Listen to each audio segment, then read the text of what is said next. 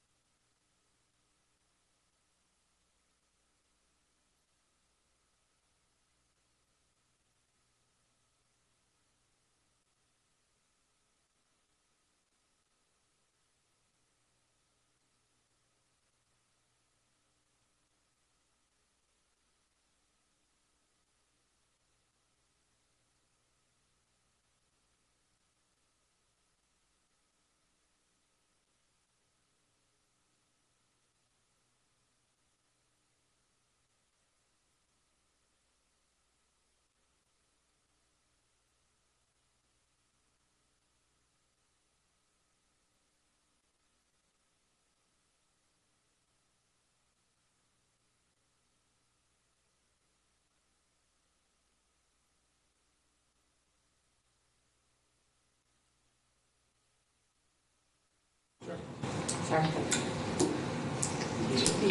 Last person to the meeting has to stand. Tom was wondering. Oh, I know what I just. Oh, yeah. Yes, it did. and You're thinking your imaginary friend sitting there. One thing that keeps talking about is When you answer him, let me know. Might not want know. Good evening, everybody. Uh, Welcome to the uh, Scarborough Downs Workshop. Uh, uh, We have the Scarborough Downs team here, uh, as well as the town council and administrative staff. And I'm going to ask uh, Town Manager Tom Hall to kick it off. Great. Um, Staff just has a few introductory comments, really kind of set the stage, if you will, and then the balance of the evening is really up to uh, Rocky and his team um, to take us through, and I think there'll be ample time for discussion, which uh, I think is something they really want to make sure we have time for. Um, Just first and foremost, this uh, was arranged to be, uh, I think, on January 7th. It was early January, and at our request to accommodate the council schedule, we asked for this to be delayed. So just want the record to show that uh, these folks have been interested in in sitting down with council for some time now, so I'm- I'm glad we're finally able to get together. And really, for the council's purpose, there's no action asked of you tonight, and in fact, it'll be interesting to see as this process unfolds in terms of what action the council uh, will have. Um, I think there might be some foreshadowing tonight in terms of zone considerations, uh, potential future partnerships, all of those sorts of things will kind of develop and unfold over time. Uh, But in the near term, there's really kind of no action in front of council. Uh, The planning board has kind of the initial heavy lifting with uh, looking at the infrastructure plan, and then next with the master plan. Um, And I guess the final piece I just mentioned, and it remains to be seen whether it's an issue that we want to talk about, is kind of community connectivity. Uh, This site is, um, among other things, one of its attributes is proximity to Oak Hill and to this campus. And uh, right now, there's some challenges in the zoning ordinance in terms of connectivity between here and there. And so those are issues that, the- if the town thinks that's important, we'll have to dig into that. Um, I don't believe that they're planning on that uh, as part of their initial master plan, but if that's something we think is important, that's probably uh, some effort that we'll have to put forward. So that's kind of the, the background. I'll ask Jay and Karen just to fill in a couple gaps, and then we'll get right into it. Sure. Uh, Thank everybody for coming tonight. So we wanted to to start with uh, an excerpt straight from the zoning ordinance that really sets the stage for what this zone was intended to be. And I think it really begins to identify some of those things that are both land use oriented, but really go beyond the borders in many respects. And one of the things that the uh, zone purpose really talks about is, you know, this is going to be a vibrant center in the heart of Scarborough. That's in the zoning ordinance. It's intended to be some, a piece of property that we work cooperatively. And that's um, really why we've been talking about Scarborough Downs as being a partnership. Um, You know, partnership with a small P right now, where we're discussing and talking about things that can happen, but as Tom um, alluded to, there may be partnerships that go beyond the small P, you know, whether or not there's TIFs or other types of public purpose um, requests, either on our side or on their side. And it really is um, a, a unique opportunity. We keep saying that, but I want to continue to emphasize that, and I think Jay feels strongly as well as we look at this. So few times does a property like this come before um, and present the opportunities that it does. And so I do think the zone purpose in the, zo- in the zoning ordinance lays out um, a great foundation for working cooperatively and for really designing something new, uh, perhaps unconventional and, and really exciting for the town. And then Jay is going to walk you through just a little bit of what the planning board's job is, because there's some, uh, they've got a lot of work to do as well. Sure, so just briefly, and Tom already alluded to some of it, um, as we're having these discussions with the council, the uh, team has also been before the planning board to start the sort of regulatory review process. The Crossroads uh, Plan Development District really lays out sort of a a stepped and measured approach to the review process. And the first bit of that, um, the planning board conducted in early January, was identifying a conceptual infrastructure plan. When the zoning was crafted, it was recognized, obviously, that this is a, a, a significant piece of land in the middle of town. We Want to be sure before pieces or pods of this uh, property started to be developed, that there was sort of an overall plan that would demonstrate how the parcel would tie into the infrastructure, as the name would uh, identify. The next steps in the process are coming up with um, master plans for the uh, various pods of development. Everybody says 500 acres, um, of which, you know, some number, two to 300 is developable.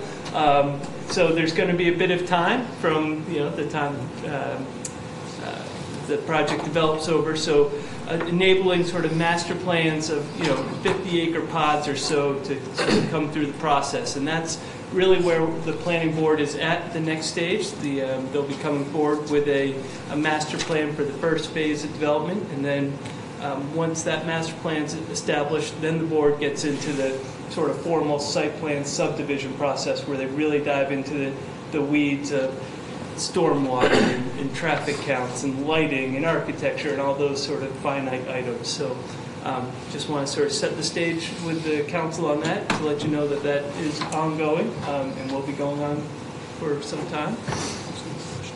So with that, I think we'll toss it over to Rocky. Yeah, I just Oh, I have, beg your yeah, sorry, just a, just a quick question. Uh, Jay, where, uh, what's the council involvement through any of that? Are there any approval requirements through any of that process? So at this point, there, there isn't um, through the planning board review process. If there, and I think Tom already uh, touched on a few, you you know, there may be adjustments to the zoning that are sought um, as development um, comes along and, and other opportunities. But um, at this point, um, the planning board has the- the is in place, and the board has uh, the review authority, um, provided they meet all those standards and regulations. So master plan doesn't have to be finalized or approved through us, that's all through planning That's all process? through planning board, correct. Okay, Okay. sorry, Tom. Oh, With that, I was going to flip it over to Rocky, who's going to introduce the Okay. team, and we'll jump right into it. Well, great, thank you so much uh, for, for being here tonight. Uh, Took a little while to get here, but, but but we're all here, and we think that uh, we can really, uh, to use one of Peter's terms, make some eggs tonight and, uh, and plow some ground. Uh, I did want to just introduce the team. I think uh, at this point, probably everybody at the table knows that, that we have purchased the property, we do own it. Uh, That, that piece of uh, the puzzle has been, been put in place.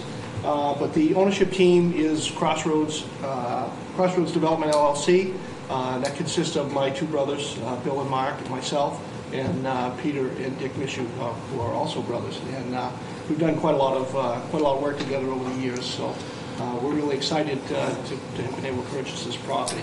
Um, The development team uh, includes us as as developers, of course, and we're, um, we're not like every developer around, we're really hands-on and uh, always have been. It's hard for us not to be. So we're, we're all taking quite an interest in this, in this project and uh, probably giving Dan a little more direction than he really wants, but. uh, So uh, we have Dan Bacon here uh, with us tonight. Gorrill Palmer uh, has been selected as our engineers. They're going to do all of our planning and engineering, traffic engineering, that sort of thing. Dan has that team. We've got uh, uh, landscape architecture, which is a big key to this, this whole project. Uh, Nick Aceto uh, and his wife Caitlin have a small firm in Portland, and, and we're very happy that they're working for us, and I think they've turned out some, some really good work, and we look forward to continuing with that. Um, We've got Jim Damicis with Camoin Associates is doing uh, market study work for us. Uh, You know, I think you're all familiar with Jim. He's, he lives here in town, uh, has worked all over the country, and uh, really gets uh, the numbers and and is uh, providing us with some great, great information. So he's here with us tonight. Um, uh, Diana Nelson with Black Fly Media is also working with us handling our public relations. She's, she's not here, but she's working with us on, on the press and and handling that. And uh, on the real estate marketing end, Drew Sigfridson over at uh, Boulos Company is, is handling the, uh, the marketing for us. So that's our team. Um, both Dan and Jim have uh, some presentations that we, we want to give to you tonight. Uh, We've got this laid out, we're going to try to get through it as quickly as we can. What we were hoping for is to really have some time to spend on some back and forth and questions and, and talking about things. But I think if you would allow us to give you the, give you our presentation, maybe hold the questions if we can, and uh, let them, let them show you what we're thinking, and uh, then let's, let's get into some questions and and really talk about this thing. So, if That's acceptable? Ready? Great, Dan?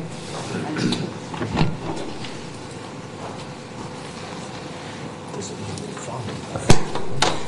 Uh, Thanks, Rocky. Uh, It's great to be back, um, to see you all, and I'll be working with the council again in a slightly different way, uh, but I think an equally exciting way. This is an honor to be working on this project and working with this team on such a special property with such significance to, uh, to the community. So, uh, thanks again. And as Rocky said, uh, we want to spend only half or less of tonight's workshop um, with our presentation and save uh, as much, as much time for conversation. We can go back through the slides and and cover ground that, that I try to work through um, with the initial presentation. Um, But we do have a fair amount we want to get through, um, so I'll, I'll get started. Uh, In terms of workshop objectives, we want to you know, introduce our initial vision, initial master plan for uh, the entire property of Scarborough Downs, uh, recognizing that it's going to be very much a phased incremental, incremental process to build out. We want to talk a little bit about the design goals and equally important, the, the market demand for the type of community and development that, that we're thinking about. Um, I also want to, and Jim's going to speak to this more than I, but, but public and private ROI, return on investment, is a key component to this project um, to be successful. Um, To get past phase one, it has to have a positive ROI um, for the developers, but just as importantly, we're thinking about this in terms of the public return on investment. And what is the right development mix to, to be successful for the community? Um, And, and very much related to that is the partnership, as, as Karen introduced, um, it's part of the zoning, is that um, this, this parcel and this zoning is to be a partnership through deciding on what the right land use mix and development mix, but also on um, other partnerships that we'll talk about this evening, in terms of maybe some community benefits, um, as well as uh, financial partnerships on various aspects. And as I think Karen and Jay touched on earlier, um, the zoning, we think is 90% there, uh, but as we're looking at what, what the market demand is, um, digging into the zoning district details, you know, we'd, we'd like to introduce some ideas from some zoning amendments. They're not dramatic, um, but we think they, they fit the site, and we'd like to get some initial reactions from the council on, on some zoning amendments. And as importantly as, as, as these items, we want to get your thoughts and, and start the conversation around this, this project um, and talk about what the next steps are. Um, Not that this group doesn't know where the Downs is, um, but we wanted to just show this map that, that highlights the significance of the property to the community. You know, it's in the geographic center of town. It's maybe you know, a quarter of the mile north of the geographic center, but it's more or less in, in the heart of the community um, in a very central location. It's 500 acres. Um, we're learning the, nut, the sort of the nooks and crannies and, and how many acres it is. I'm not sure we know exactly, but we know that it's at least 500 acres. Um, it's very accessible. It's right off the, the interchange. It's right by Oak Hill. Um, it's a, adjacent to a lot of different things. Um, even though it's accessible, it's actually hard to get to the center. It's not like it's right on major routes. Um, Nick has been working hard on the design and um, and being really thoughtful in terms of kind of laying out development potential, and, and we're using kind of walkability as an important metric with the project. Um, and so the circles that are on this plan show 5, 10, 15 minute walks. So again, in terms of adjacency, um, the Downs is walkable to Oak Hill. It just right now, the infrastructure isn't there to be walkable. It's walkable to a lot of other things along Route 1 and Haigis Parkway. Uh, infrastructure costs are going to be significant for this project, um, and that's part of the, the puzzle with this project in terms of partnerships and, and, and ROI. But they're also, uh, we see as an incredible opportunity for not just the project, but the community. There can be some great infrastructure improvements made as part of a project that benefit much more than just the, the, the development. And zooming even further out, we see this par- parcel as really a community building opportunity that um, that doesn't come around every every day or every year or every decade. into every community. So um, we think it's pretty exciting. So as, before we kind of get into details of the downs uh, in Scarborough, we laid it on a few places that people uh, may be familiar with um, to get a sense of scale, which we thought was important to do. Um, So the, the map or the plan on the left is actually um, downtown Newport and its surroundings. And um, so the, the white roofs and kind of the core of, of downtown Freeport, that's L.L. Bean and uh, the central kind of Main Street shopping area. And you'll, might not be the easiest thing to see from your seats, but you'll probably can see that that's really only, for a 500 acre parcel, that's maybe a fifth of the size of Scarborough Downs. And then you also can see kind of Route 1 going north and south and neighborhoods, et cetera. So to get a sense of scale, downtown Freeport and a lot of the surroundings can fit into the boundaries of Scarborough Downs. Um, the, the middle image is Mashpee Commons in Cape Cod, and that's not right around the corner. So you might say, why, why do we care about Mashpee Commons? Uh, Mashpee Commons, we've been thinking about and looking at as a model to a degree for aspects of this project. Mashpee Commons has sort of a, a more contemporary downtown that was created. Um, and that's the kind of cluster development right in the center. And that takes up about a tenth of the, the, the property. So, you know, Karen introduced the idea of a kind of a vibrant, mixed use, maybe downtown potential. We share that vision and, and we think that that can happen. We also think other things can happen on the parcel that, that relate well to that. And then the third image is uh, the Portland Peninsula. And um, so Scarborough Downs would take up uh, maybe two-thirds of the Portland Peninsula. So um, and it kind of gives you a good sense for the wide mix of things that you all know are happening on the Portland Peninsula from the East End residential area down to Congress Street and, and Forest Street down to Bayside. So, you know, it's we thought this was kind of fun and interesting to, to kind of put it in perspective as to what's possible on the downs and what the mix could be in um, some other communities. So as, as Karen and Jay introduced, um, Scarborough's been working on ideas for the downs for quite some time, um, going back to the comprehensive plan 2006, and there's been a lot of discussion recently uh, in the comprehensive plan that you're working on about the significance of the property as a regional activity center um, and having zoning that can enable that and, and having a development project that can enable that. So we've been thinking a lot about how can our plans implement uh, the town's goals through both comprehensive plans as that regional activity center. A few of the kind of bullets and, and ideas that we've taken from the recent comp plan process and some of the images and the visions that the communities come up with are, are shown here. Um, you know, one big idea that we heard was take control of downs and, and um, you know, I think that's. We did that. That's why we're sitting here today. You know, what, what does that mean? And, and how can we work together, kind of control the right future for the Downs? So um, there is local control for this parcel as, as brought up in the comp plan. And uh, we're excited to be working with you, starting to work with you on that. Street connectivity, walkability, you know, creating good transportation networks is, seems to be a theme in the comp plan, and, and for good reasons. Um, and that's a theme in the design of this project, and that you'll see in, in a few minutes.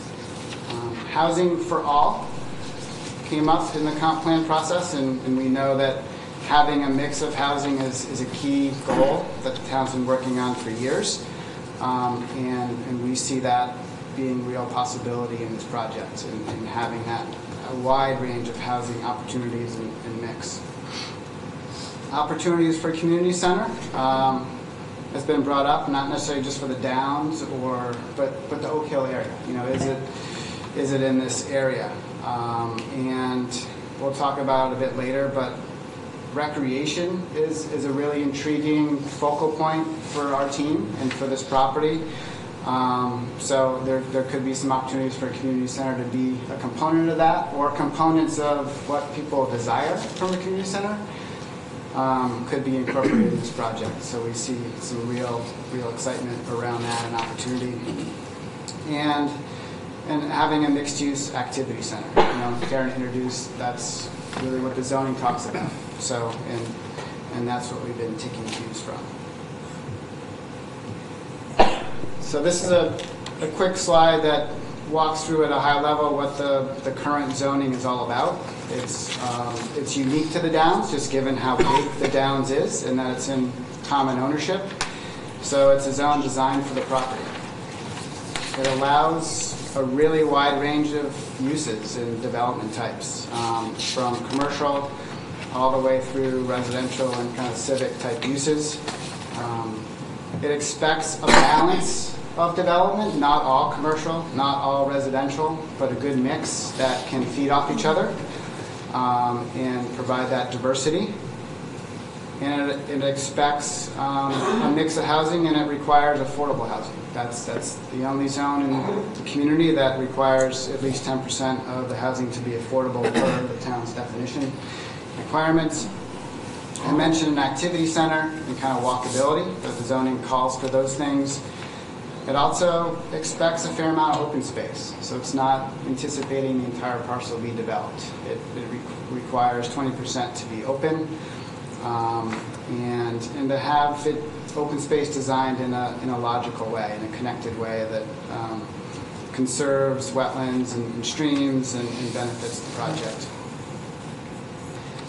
It also has a lot of flexibility. You know, didn't want to establish a specific, um, you know, lot size requirements or specific design requirements, recognizing the other uh, goals for the development. So at each stage in the process, we would work with the planning board on setting what are the right um, development standards for a pod or area of the project. And as Jay introduced, um, it requires master planning up front. So it needs to be, you need to show the planning board how things are going to be de- developed over time, and then you can implement those um, piece by piece. And I think Karen already touched on the collaboration and kind of the partnership piece of the zoning.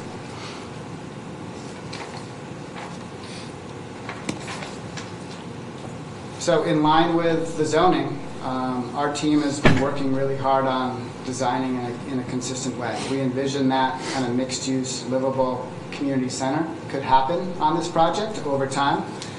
Um, we've been, Nick in particular, and our team been thinking a lot about kind of the walkability, bikeable, kind of complete streets approach with this project. Um, and the connections and integration both within the project from one area to the other, but also its connections and integration to what's around the property. Hill to Haigis Parkway, to the different activities that, in development that are happening around the downs. Um, You know, a project like this we see being a great opportunity to provide housing for really all generations that need it. Um, There's demand, and Jim will talk about this further, for millennial housing that, that want space in the suburbs, that don't all want to live, um, say, on the peninsula in Portland, like I showed earlier, all the way up through kind of retiree and senior housing. So we see there's an opportunity for a wide housing mix. And as I mentioned earlier, we see recreation being a real focal point and catalyst that could, that could um, propel the project and be, be a fixture in the project. You know, that could be continuation of the track for a period of time or, or longer, or, and it could be a pivot to other additional kind of recreation, entertainment type uses that um, may come along soon. We also see the, the property providing a pretty diverse commercial base, um, tax base, and, and be an economic engine for the community. I mentioned ROI and fiscal sustainability, um, but that's, that's, Jim will touch on it, but that's uh, an underpinning that's critical for the project's success.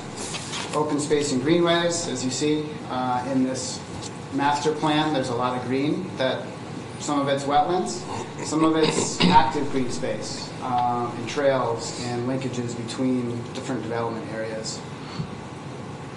Um, As mentioned, you know, the, and I'll touch on a little bit further, you see the core, this, the central part of the down ultimately being maybe a downtown or a mixed-use center. We have that in mind, but that'll take time to kind of work towards that core.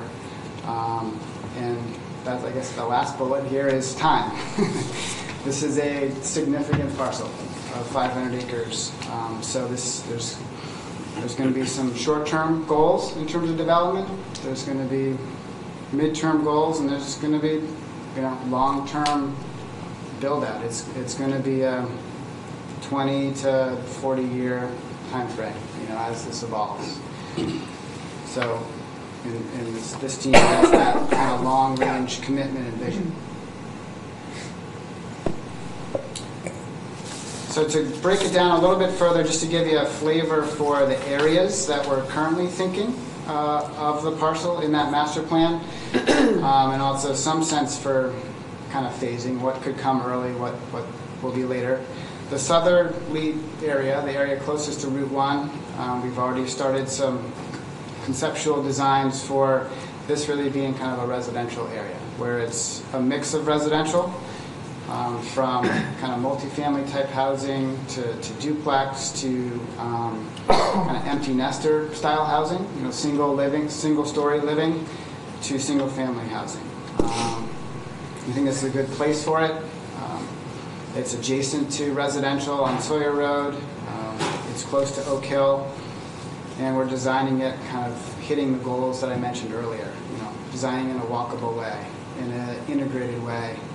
Um, come up with some creative ideas with common space and open space, you know, uh, having houses front greens and, and be fairly compact but really livable. So it's a, and these are some examples of the type of housing that could be integrated here. Um, and we'll come back to you in, in the planning board with more details. Um, Part of the reason too is that we see there's market demand for this mix of housing in the short term.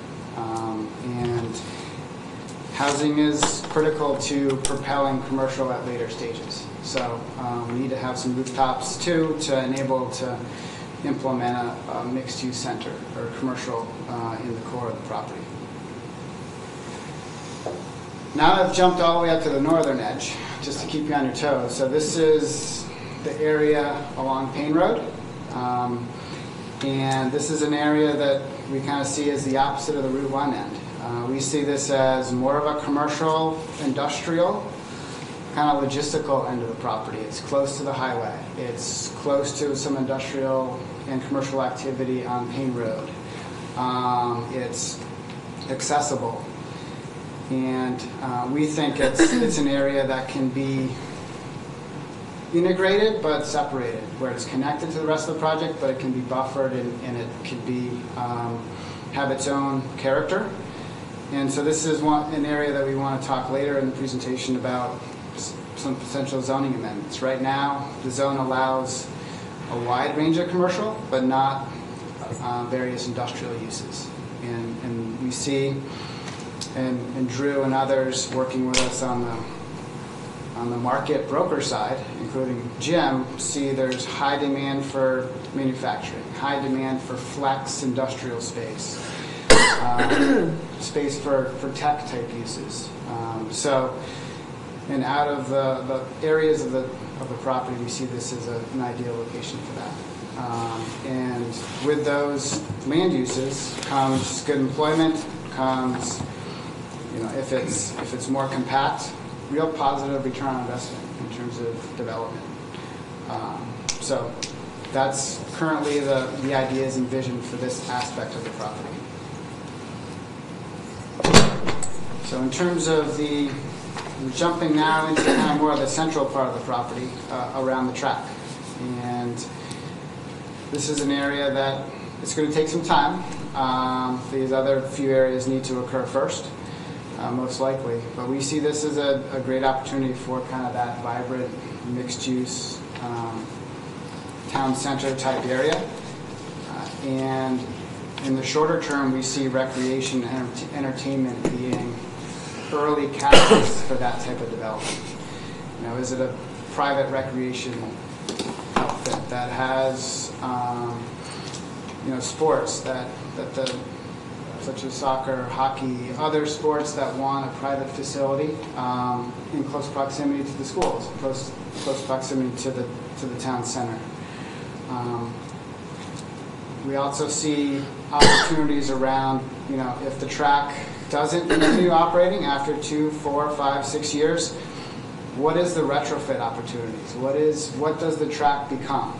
Um, and that's been a real kind of design challenge for us in a good and bad way. And then one day we're kind of designing around the track and it's the focal point of the project. The next day we're like, why are we designing around the track if we don't know the future? Um, but it, we see it as, you know, really it's a landmark building. The grandstands is a landmark building. The track is is obviously a fixture for the past 60 or more years. So we've been taking cues from it um, and think that regardless of its future, um, there could be those could be landmarks that really define the project.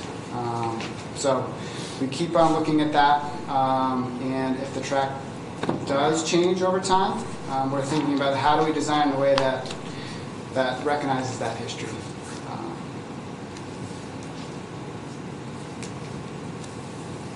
Just moving up slightly, um, this is an area just north of the track where, you know, Nick's laid out with our, with our input, you know, a real opportunity for that kind of town square environment, um, that kind of Mashpee Commons or that, um, that Freeport Maine where it's not necessarily retail or, or all retail, given where retail's at, but it's, but it's a mix. Um, with a catalyst like recreation, entertainment, you know, this could be a mix of retail, office, housing, hospitality, a wide range of kind of commercial uses with residential uh, around it, as well as some more kind of um, conventional uh, commercial. There could be a grocery and kind of shopping center nearby. There could be other, an office uh, campus, you know, that we think will likely want to locate here if it's strong in amenities and it's strong in kind of sense of place and community. And Jim will talk more about that.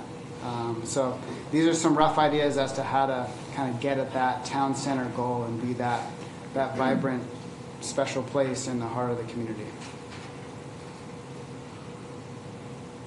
And another kind of component of the project, more kind of northern easterly. So this is just north of the track where the, the stables are today, um, southeast of the Payne Road area. We see this area uh, as another kind of residential, a larger residential area. That, that could include a wide range of residential, uh, like that first pod, where it could be kind of senior type housing all the way down to to apartments and millennial type housing, um, or you know young professionals, as well as single family. Um, we see single family neighborhood opportunities. We've also talked about kind of assisted living and, and that type of uh, component in this area as well. And again, the layout is grid, it's compact, it's walkable, and it's, it's by design. It's what the zoning's asking for, and, it, and we think it's, it's what the market is asking for um, in, a, in a place like Scarborough. place like Scarborough, this is the a term we learned a few weeks ago. Um, I don't know if we're going to stick with it for too long, but it instills sort of the, the idea of the project. Um, at the MEREDA, the, the real estate uh, conference a few weeks ago, the, the term suburban came up um, as really a, really that's the very hot and desirable kind of development pattern or, or kind of market, development market right now nationally. Um, and, you know, Maine is always a couple years behind, so maybe this is the first suburban uh, project in, in southern Maine of scale. Um, but suburban is intended to mean a suburban location but with urban amenities. So it's, it's sort of urban light, um, where, you know, it's more suburban housing, but you're walking to maybe to work, maybe to a coffee, certainly a coffee shop, to to a restaurant, to entertainment. In some areas, maybe it's just a residential neighborhood, other areas it's mixed use. Um, and these are some images that are kind of part of our early considerations in terms of different development types and, and, and designs where you know there could be that kind of grocery anchor but it's walkable to your house. There's that uh, shops on the first floor office or housing upstairs. There's um, townhouses, there's single-family houses, but they're pretty, pretty clustered and they have green space right out the front door. So um, that's, we're taking a lot of design cues um, from this term, term Serban, um, but we think it's, it's really helps define what the zoning is, is talking about and what the town's visions have been. Live serving at the Downs, is that okay? Ask Diana. There you go, man. All right, so this is the handoff to market t- context. I've shown you what the planners think. Let's see how it fits into the market. Planners. Planners. Yeah, got a lot of experience working with those planners. It's all good.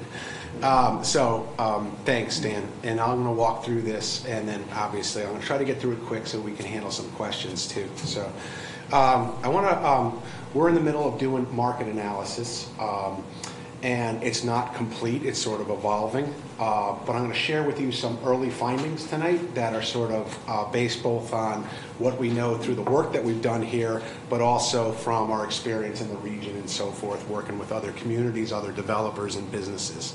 So, and again, some of this is going to be stuff that you already know, but we're seeing uh, really strong demand for residential. Um, When you're dealing with mixed-use types of development, be they buildings or be they larger sites um, in separate parcels, residential is leading the market.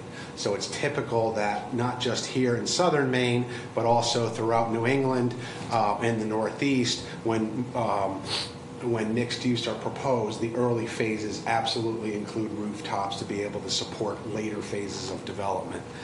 Uh, There is a very soft demand for commercial office. And again, there's anecdotes there. People move around the region. They choose to move from one town to another for various regions, reasons when their leases are up or if they're expanding. But when you look at the demand overall, um, it's uh, soft for a commercial office, although uh, we separate out, it's uh, much stronger for medical office. And, and again, look around Scarborough, Greater Portland, you can see the medical office has, has flourished. Um, The demand, there is, there is a demand for light manufacturing, manufacturing, uh, light industrial, if you will. Uh, This tends to be not mega manufacturing facilities, but smaller, um, oftentimes flex.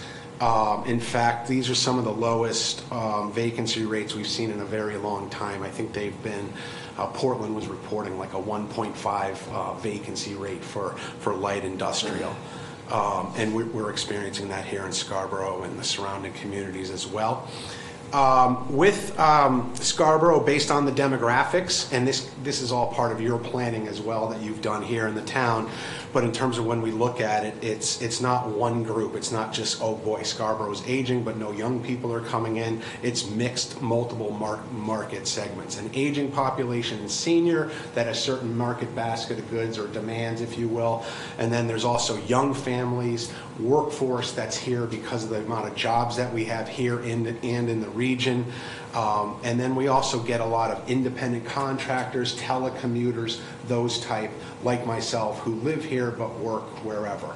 Um, and that creates a demand for both different kinds of housing, but also different kinds of business services and things like that. Uh, Dan already hit on this, so I won't dwell on it too much, but um, this relates to that um, Serban, um, which is a term I think that recently came out of the MEREDA conference, the Maine Real Estate um, Development Association. But um, we're seeing a shift in the market. This is local, but it's also national here. So um, we always think about this in terms of urban areas, but it's uh, towards mixed uses, high amenities, quality designed, pedestrian friendly, transportation options, and connected. And it's not just in the urban areas think about it this way. People talk about like in a different perspective they'll say oh um, boy the millennials are demanding different things than the, the, than the boomers and the gen x's. And that's true they do. But over time they actually influence the market so that people in those other generation categories start to want some of the same things. So it's not distinct. It starts to influence the market if you will. Uh, there is strong competition uh, in surrounding communities um, all the communities, in fact, all of the Northeast would love to have this opportunity. So um, when you're looking at um, co- like competition in the sense of where dollars can flow, where development can occur, um, you have to take into account that competition, and it must create something that's unique in the market. In other words, what can we do here that's bigger than just the sum of its parts of houses and businesses and open space? Collectively, can it be unique in the market? So what's going to make it successful? Um, um, There's um, several factors that I just want to lay out there as a framework. It's got to be, um, and I'm not going to dwell on them because Dan's already hit on a bunch, but it's got to be well-planned, it's got to be mixed use, and it's got to be grounded in both market realities, so based on current and recent market, but also market potential.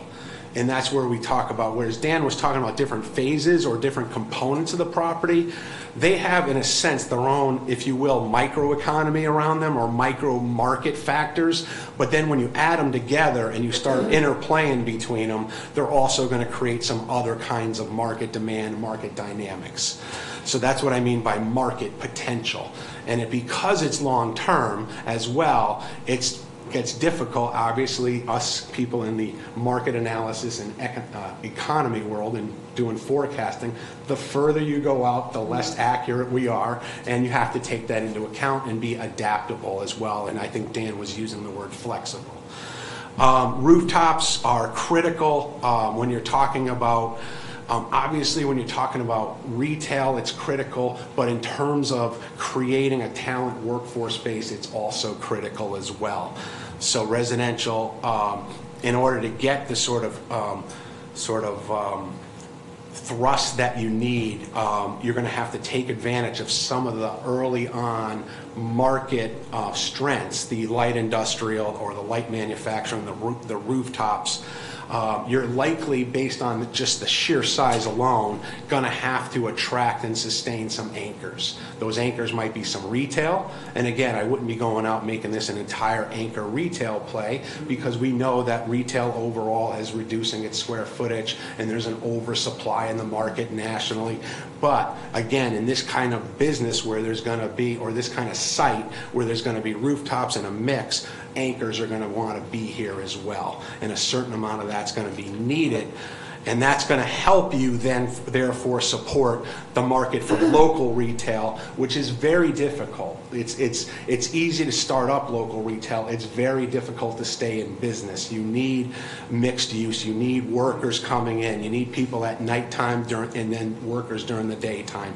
But whether that's retail, restaurants, hotels would be another example. Hotels would unlikely to be the first in or early into this kind of development. But once you start adding the other factors, all of a sudden the hotel market looks a lot more appealing. Um, So again, it's got to be uh, creating an offering in the market that is new in the suburban market and can be competitive. Those, oh, and again, those are the kinds of things Dan's already mentioned, connections, flows, walkable, amenities, supporting infrastructure. That includes roads, but that also probably includes looking at things like broadband, looking at things like energy and those kinds of things as well. Um, And then it's mixed, but it's also supporting and, and creating some synergies. Um, It's got to fit with the community character, and I have a, we have a summary slide later that shows these sort of, what, the importance of the community character along with the market, but it's important that that happens, and it's got to fit with the comp plan. It's got to be financially feasible, and that's including on both the public side and the private side. If this doesn't work for the public, it's not going to work well for the private and vice versa. So it's got to be something that, that it, it makes sense in terms of revenues and costs for the town and revenues and costs for the developer, the businesses and so forth. And then finally, if it's done right and you can get those synergies, what you want to do is create other opportunities elsewhere in Scarborough. In other words, it's not going to be successful if we just create this beautiful development and Scarborough businesses move to here and leave other places vacant. Um, You want this to be helping here, which then creates more options elsewhere in the community as well. Um, I think I might have skipped some, there we go. We, uh, just real quickly on some of these next slides, I just want to let you know what we're doing as part of this and the kind of data that we're looking at. So right now, we're looking, pretty much everything's on the table, commercial office, retail, so on and so forth. Some of the things I didn't hit on tonight were, um, yet, were like recreation. Um, In mixed-use areas, the, uh, there's a high demand for different kinds of recreation. That's not just outdoor recreation. It could be things like, and you're already seeing them here in Scarborough, but rock gyms, uh, go-karting. Um, It could be uh, cinemas, those, ki- a whole variety of things that when you look at retail potential, you're blending restaurant, retail, and entertainment. Um, The kinds of stuff that we're looking at in terms of data is regional and national real estate, but also local. Sedco and Karen has been great so far helping us with some of those economic trends, um, and Jay as well in terms of development in the pipeline. Um, We've done interviews and will continue to do interviews with real estate and market experts. Um, We already heard about Mashpee Commons, but we're going to continue to look at examples elsewhere of what kind of development have occur- has occurred.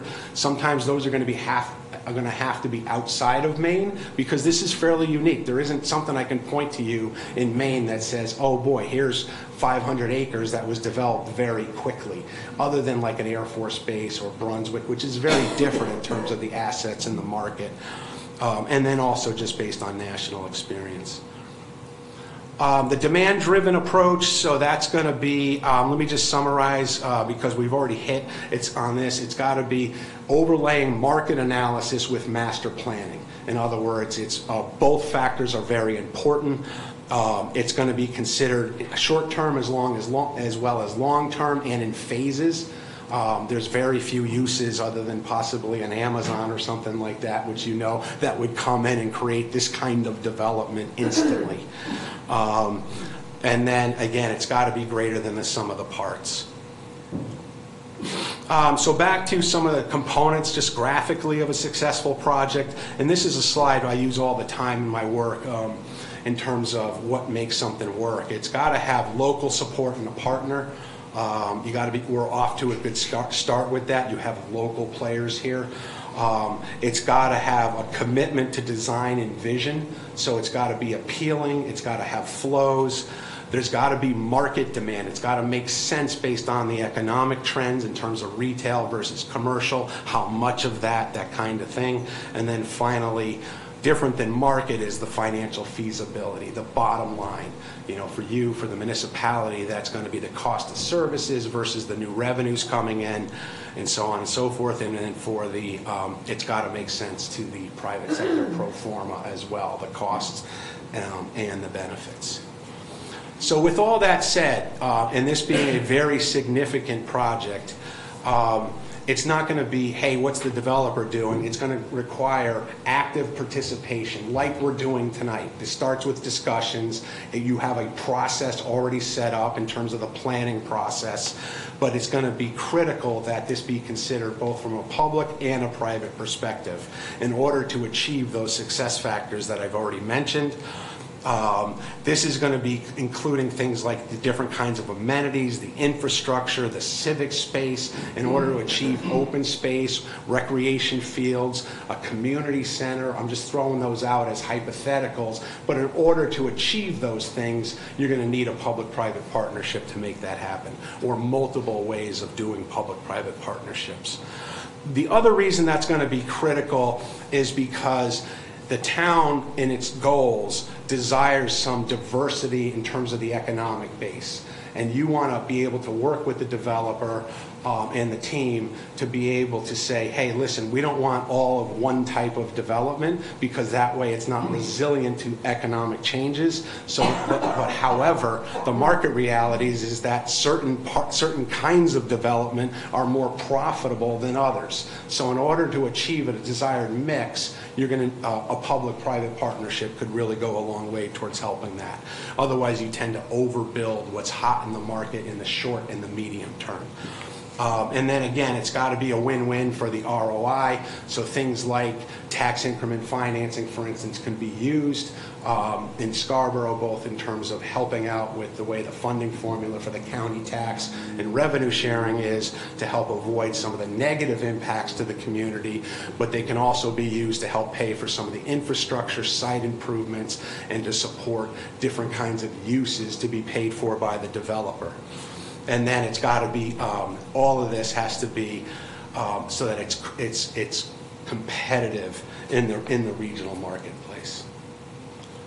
Dan, I think it's back to you now, and then we'll take questions. Thanks, Jim. I'm going to be efficient because I know I'm being watched by by clock man.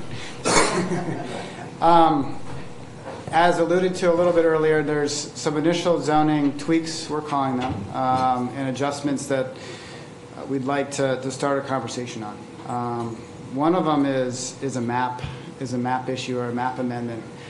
Um, When, when the team uh, acquired the property, discovered that the boundaries aren't what the assessor thought they were. Um, And the, or the property owner for that matter, but uh, the zoning map, um, when it was, when it was rezoned to Crossroads, it followed the assessor's um, parcel lines. And it might be hard to see from your seats, but in yellow is uh, what the survey plan shows as the property boundary, um, and in red is, is the zone, is the zoning district. So there's a pretty good size parcel of approximately 30 acres here that um, wasn't thought to be part of the, the overall property. Um, and it's therefore not zoned crossroads. It's zoned a village residential four and then maybe partially RF, rural farm. Um, so that's, that's something a little bit different in terms of the zoning. And then there's a, a piece that may be on a different property that's zoned crossroads that really can't take advantage of, of the zoning. Um, so, there's a few other areas more on this edge um, that aren't exactly as per the, the survey plan and the property boundaries. Uh, Another piece of it is, which we've known, um, is the portion of the property that abuts Haigis Parkway um, has been zoned Haigis Parkway uh, over the years, and and that was deliberate. Um, But the more we've gotten kind of into the design of the project and this master planning process and it being integrated and connected and, and, and all those things, we really like to have a conversation around having the entire property be zoned the same way. So we can kind of have predictability around planning board process and, and design and uh, et cetera. So that's uh, something we've already talked to, to Jay and, and Tom McCarron about and um, have some strategies around. But we want to introduce it to the council as, as something that we think is, um, we, we feel is more of an adjustment based on the original intent in terms of the zone being the entire parcel.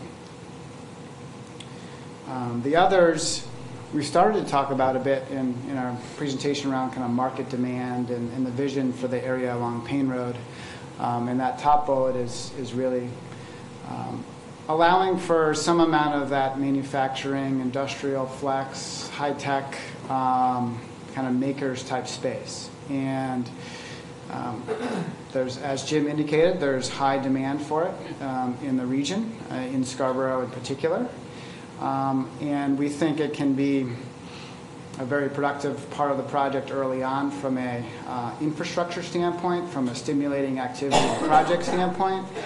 And we think it can be done in a way that um, doesn't have any negative impact on the overall project. This is a big enough parcel um, that it can be buffered, that it can be designed in a way that, that feels right and that's integrated and, and can actually end up kind of complementing other aspects of the project. So uh, that's something that we want to start a conversation on, and, and it's something that we'd hope to pursue in, in the short term with, with the council and the planning board. Um, Another kind of zoning uh, nuance or idea is the signage. Um, There's nothing about the Scarborough Downs sign that complies with the zoning ordinance right now. Um, But we see it as a pretty, pretty historic, kind of iconic sign, and would love to find some creative ways to be able to maintain it, but kind of make it contemporary and, and do some things that make it a new kind of gateway into the project. And um, so having some signage allowances that are kind of specific to the zone can enable maybe that sign in, in a new form, or maybe as the way it is today, we don't, we don't know yet, um, to, to exist, and, maybe other signs that are kind of complementary to that. Um, So we want to kind of talk a bit about the signage, just kind of given the uniqueness of it and the, its connection to the, to the property and the project. Um, The other couple things um, are related to kind of land uses uh, that are, you know, we don't want to do a lot of in the project, but we think there's a place for in the market and also locationally in the project. And, and one is a convenience store, kind of a gas station, fuel station along the Payne Road area, if that goes light industrial. Um, and also if we attract what we hope in terms of destination recreation and other amenities. Um, those fuel and convenience on Payne Road we think is, is appropriate and could be fitting and, and would be designed in a way that's integrated, that's not um, sort of an afterthought. So that's something we'd like to talk about. And also the concept of drive-through restaurants, um, not because we want to put drive-throughs along Payne Road, Haigis Parkway, and Route 1, more because coffee shops and various restaurants in suburban locations often include drive-throughs. So it's yeah, and grocery. We have Um, to get a phone. Right, so it's, it's not really kind of the fast food joint that we have in mind. It's, it's kind of modern, higher-end users um, expect drive-throughs. And with kind of Nick's skills and the team skills, we don't think it's going to compromise design from a sort of a walkability standpoint or those other things, um, just given the approach we're taking with the project. So um, I'm going to keep moving because I know we want to save some time for the important part, the conversation. So this is my last slide, and it's, it's really just to, to highlight and, and remind us and, and start some conversation around next steps. Um, Jay outlined the kind of the development side, the planning board side. We've started the planning board process through the conceptual infrastructure plan and, and got that approval. Um, and we're working now on the master plan step. We're focused on pod one, like we introduced that residential area one. And we want to work on that over the next few months um, to seek approval so that we can be kind of working on pod one as a first phase. Um, you know, as early as this summer if, if possible. Um, because this is such a big site and it's the infrastructure that exists can hardly serve the demands that exist today. Um, getting a start on infrastructure to, to enable future development is key. So we, we want to talk about, all right, how do we you know, start making some improvements into the sewer early on um, and have a conversation with the sanitary district on initiating that. And kind of following that first phase of development, you know, pods two and three that we're calling them, um, Payne Road and maybe towards Haigis Parkway, those could come along as users get interested. And then there's already interest in those areas um, later this year and early next year. So that's really kind of the development side flow and timeline that we're working on. And on the partnership side, we're obviously starting this evening on that, on that column. And you know, as early as next month, if there's receptivity to the zoning ideas, we'd like to, to work with um, Jay and the Long Range Planning Committee and, and the council on what those amendments look like um, over the course of the winter and spring. We want to kind of start conversations uh, with Jim's assistance on the, the kind of the TIF potential, some type of agreement around a TIF and what that means um, for various components of the project. Karen's already, I think at MEREDA, she was overrun with inquiries, because that was right after um, news broke of, of the acquisition, you know, marketing assistance. We see SEDCO playing a huge role in that, and it's already happening. Um, And the last couple items are ROI methods. I know the planning department is working on a return on investment model for the town, so we want to dovetail our efforts with that, so that we're all working off that same methodology, um, given the significance of that. And uh, the last one's community uses and assets, and I think that's a conversation for the next handful of years. So um, with that, I want to join the table and, and kind of let the conversation get started. Thanks. Thank thank you, Dan. Uh, I'm sure all of us have some questions and comments, and why don't we just uh, sort of move around the room and uh, start, uh, Chris, you want to start us off, and we'll just sort of head, uh, head north. Okay, so I've got a series of questions and a comment at the end. You want me to just do one at a time and let everybody go? or- Yeah, I think, uh, pick pick out something, and we'll sort of, Okay. Um, So I guess, you know, I- I'll start with, um, do you guys foresee any use of, of character zones, kind of like we did at- down at Higgins Beach, where you've got a kind of theme for a neighborhood, or kind of having a a similar character, or how are you going to approach that kind of development? And the commercial side of things as well. How do you, you know, you're going to have like a certain character you want the development to to look like, or the pod's going to have a certain character versus the whole development? Um, Curious to know how you might a- approach that.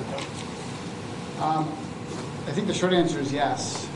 We haven't figured out how that relates to the zoning yet. Um, We have the ability to work the planning board on what the zoning looks like, and it could be very much based on character like Higgins Beach, or it could be somewhere in between what Higgins Beach did and more conventional zoning. Nick has a lot of experience with that type of work in Maine, but also in other parts of the country. So the up, the potential is there, and I, I think the pods or the areas could kind of set up nicely for that in, in, in some way, particularly the, maybe that core, that kind of downtown area that could occur, so. um, If I could just add on to that, I just should mention that as part of the, um, uh, in, in the zoning district, it does allow, it has very flexible space and bulk standards, so lot size, um, side yard setbacks, front yardage, um, street connectivity. Um, Essentially, it allows that to be uh, determined by the planning board through the master plan review process. So it does, the zoning already has some of those elements in there. Um, And so by each pod or phase of development, the board and uh, developer can sort of work together on that. Katie. Um, just one. Have you thought about or considered, uh, you know, some kind of, it seems like a great opportunity to incorporate some alternative energy sources like solar. Uh, and I didn't know, particularly in that kind of core area, is that something you guys have tossed around at all? So that's something we, we, we've talked about it a little bit, we have not really explored a lot of that, uh, but trying to, you know, we talked about it just the other day, about trying to figure out where, you know, could we do some of the solar, and where could it go, you know, where's it allowed, those kinds of things, so it's, it- it's on our list certainly to to look into that. Great. Yeah, uh, exciting project. Uh, um, One quick question, or maybe not so quick question, I'm kind of wearing my finance hat. Um, And we're starting the budget season, just financed a new public safety building. But it sounds like in some of the conversations or presentations, that when you talk about an ROI for us, it sounds like you're assuming some- some type of investment by the town in this project, and if so, how much and when and what's the timing? Because we haven't had any conversations around financial support from the town for this. So I was just curious what you are assuming or expecting. Yeah, I I can start with that, but feel free, Peter or others. So, um, two things. One is, even if there isn't any public investment, but there, when you think about it, there will be in terms of like, even if it was like minor in terms of like gateways into it, uh, road impacts, off-site, if you will, or near-site. So regardless of it, of um, some specific projects that might be uh, ROI, like a community center or something like, or through a partnership like a TIF, you would still need an ROI. Like, in other words, what, what is this development Um, going to have in terms of impacts on your services in schools, and how does that relate to the revenues that it's going to generate for the town? So that's one level of it, so that you can understand it in terms of preparing for it and also in terms of level of public and private partnerships. So that, that's going to be really critical, and so far what we've understood is that that's also a tool that you're building into your planning and development processes based on your Plan-a-Palooza and the update of your comprehensive plan. So we've stressed all along, and Peter keeps reminding me, that that work has to be the same data that you're using and we're using. So we plan on fully integrating with your ROI model, running some of our own stuff just to understand it, but also making sure that it's, the common data is for the council and the town. Right, but I guess my specific question, when you saw Dan just shared 18 and 19 pods one and two, that's the budget we're working on right now? So those types of things, if you're looking for support, Yeah. it'd be sooner good to the know sooner Yeah. than later because that needs to be factored into our conversations. I mean, especially if, if it is road infrastructure, that's probably got to go in before pods one and two. Yeah, no, we agree. And we just, we need a price tag and a ballpark number, and we need to have conversations as a, as a council about, does that fit where we are financially, because we are going to have some challenges this year. We'll, we'll lay out a planning grid on our end as to how we see that coming together and see if we can't harmonize it with what you folks have in terms of timing. You don't have a specific assumption or expectation at this point. Yeah. Thank you. Just if I could, I, forgive me, I, but I, I don't envision the town necessarily investing heavily in the public infrastructure, roads and what have you necessarily for the, in the project. Where the assistance might come through is through a TIF arrangement, which relies on future value created that doesn't exist today. So it doesn't require any upfront investment. It's funded over time based on the performance of the, of the project. Right, but we haven't, I mean, we need to have that TIF conversation because Yeah. Right. those sometimes work, Sure. sometimes they don't. That's- Oh, absolutely. As long as we're not making any commitments at this Oh. table right now. For sure. Yeah. Yeah, and I didn't mean to, just to Socializing. clarify, I didn't mean within, the within the site itself for public in- infrastructure and investment, but it might be, like, I'm sure as you go and plan it, you're thinking about where else in- intersections are going to be impacted or elsewhere uh, within the community too. So that leads into uh, my question, or my first question, which was around the, uh, I noticed on the last slide, it referred to kind of a March timeframe for that TIF agreement. I'm wondering if, if you could talk uh, conceptually in in any more specifics, given that we're already February timeframe, around kind of what, what you had in mind. Well, um, so I think in, and then we, were- we had some early discussions, again, just for, um, to get a good understanding of, uh, with, um, with Tom and with Karen. But it's, those things take a long time to get going, both in terms of the planning form and the approval, and then ultimately state approval as well. So it's never too soon to get going. So in other words, um, what we'd like to start doing, and the model can be tweaked over time, is to build the TIF model. And you guys have done these before, you already have, there are different kinds of development that you've done them for, but you have a model of in terms of how you project revenues and how you understand the different impacts on the formulas. So early on, it's going to be important to get that model set up for the latest numbers and then start to run it through some of the scenarios of the development. And then as more development, as the market analysis gets done, as more discussions with the town gets done, you then can start getting refinements of that. Just assume, it does not assume a TIF will be done, so that's just, we haven't discussed that, so. It doesn't assume what, I'm sorry? That we will do a TIF, we haven't. No, we haven't, no, no, that's part of the process and we fully understand that. And just to be clear, there are two sides to the TIF. There's what the developer may want, but there are reasons for us to, even if they didn't want any participation in any type of investment, there are reasons why we want to, we may want to consider a TIF to shelter the amount of value that's coming online. So there's, you know, I think we've been having um, uh, discussions about how do we make the best of this from uh, uh, the town's perspective, um, regardless of what financial commitment um, somebody may ask for. Right. There's, Could there's real benefits for us. What would, what would the benefit of sheltering the, the value be? So when you shelter the, um, the new value that comes online, um, it's, the state holds it harmless from the school funding formula, from county taxes, um, and sharing. other, and revenue Revenue sharing. sharing. And so even though we may be at minimum receivership for the schools, there's still benefits in terms of sheltering from the county and in terms of protecting the amount of value that potentially could come online um, with this project, sheltering it for revenue sharing purposes. And beyond that, a TIF uh, gives us the ability to perhaps direct future tax revenues to certain qualified purposes. Right. If there are priorities we want to fund, rather than just going to general taxation and then be subject to annual allocation through the budget process, you can set up through a development program uh, directed uses of that money. Those are all local dec- uh, decisions. John? So, like Peter, we all have strengths and weaknesses. Um, Planning is not one of my strengths. Um, You show me a really good picture and a plan and- and go me through, I'm fine. It's the money um, that is of of interest. Sorry, I've got this cold. So I'm also interested in the whole ROI model, particularly on this town side and the cost of services uh, kind of evaluation. Um, What I did want to ask, more for our staff, um, do we do a rear view analysis of services? So we just did a public safety building. Um, Can we look at that building and determine whether or not, at least it's specifically to public safety, whether that's suitable and can absorb the demand that this is going to increase on, you know, on the town as a whole, to see if it is still feasible based on that growth?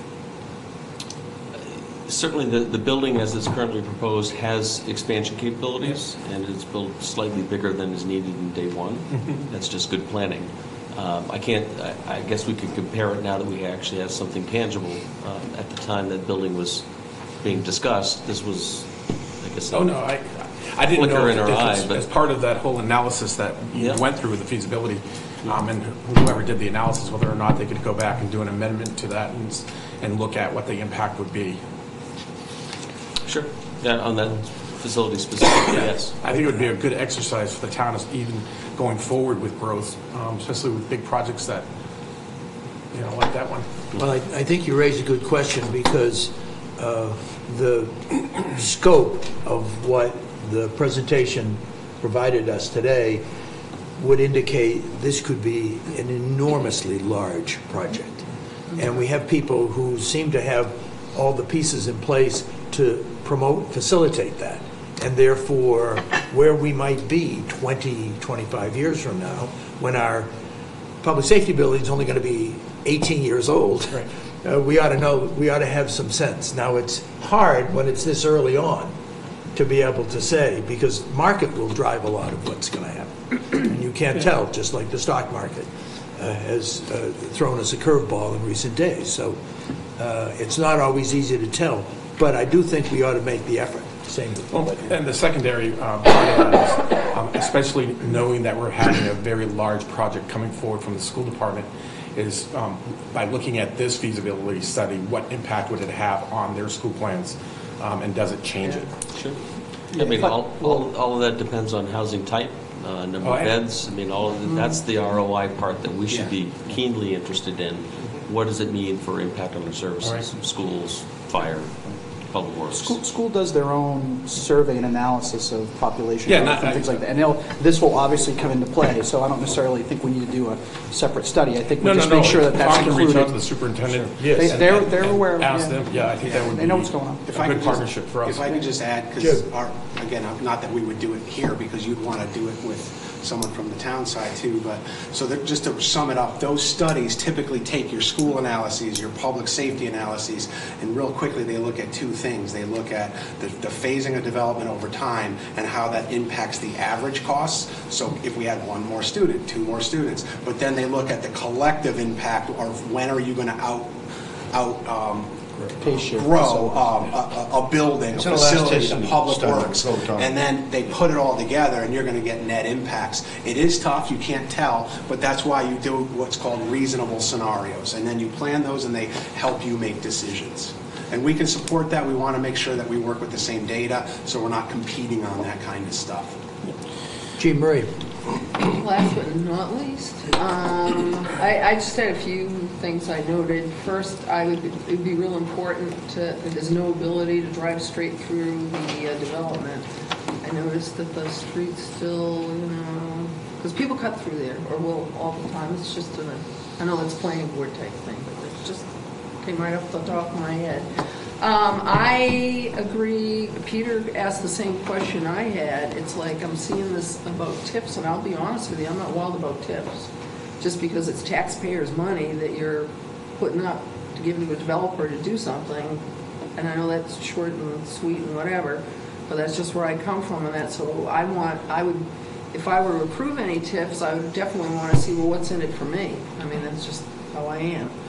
Um, and by me, I mean the taxpayers of, of the town.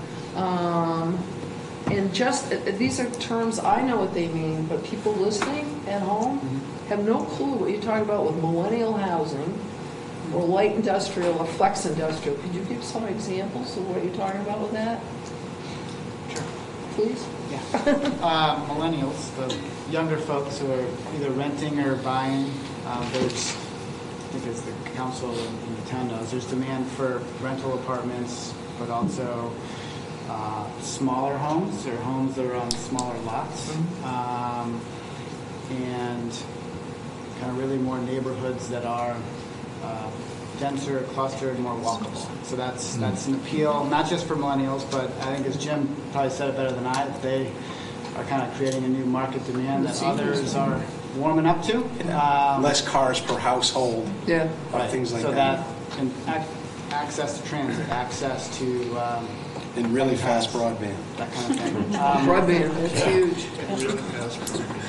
Really, really fast. Flex space is where there's some industrial space, but also some office and, and or, and or space that can do a variety of different kind of um, industrial light manufacturing activities. But I'm not an expert on flex. so Yeah, so flex would be that, plus another aspect of flex would typically be, you might have a shell of a building where you're gonna have more than one company in there, and someone might need five thousand to start with, but they quickly might need another three, so it's built in a way to be able to expand, and, and not everyone's getting exactly the same amount of They're business incubators. They're- Right, well, They're right. they're startup business. As an example of that, what's on Industrial Way?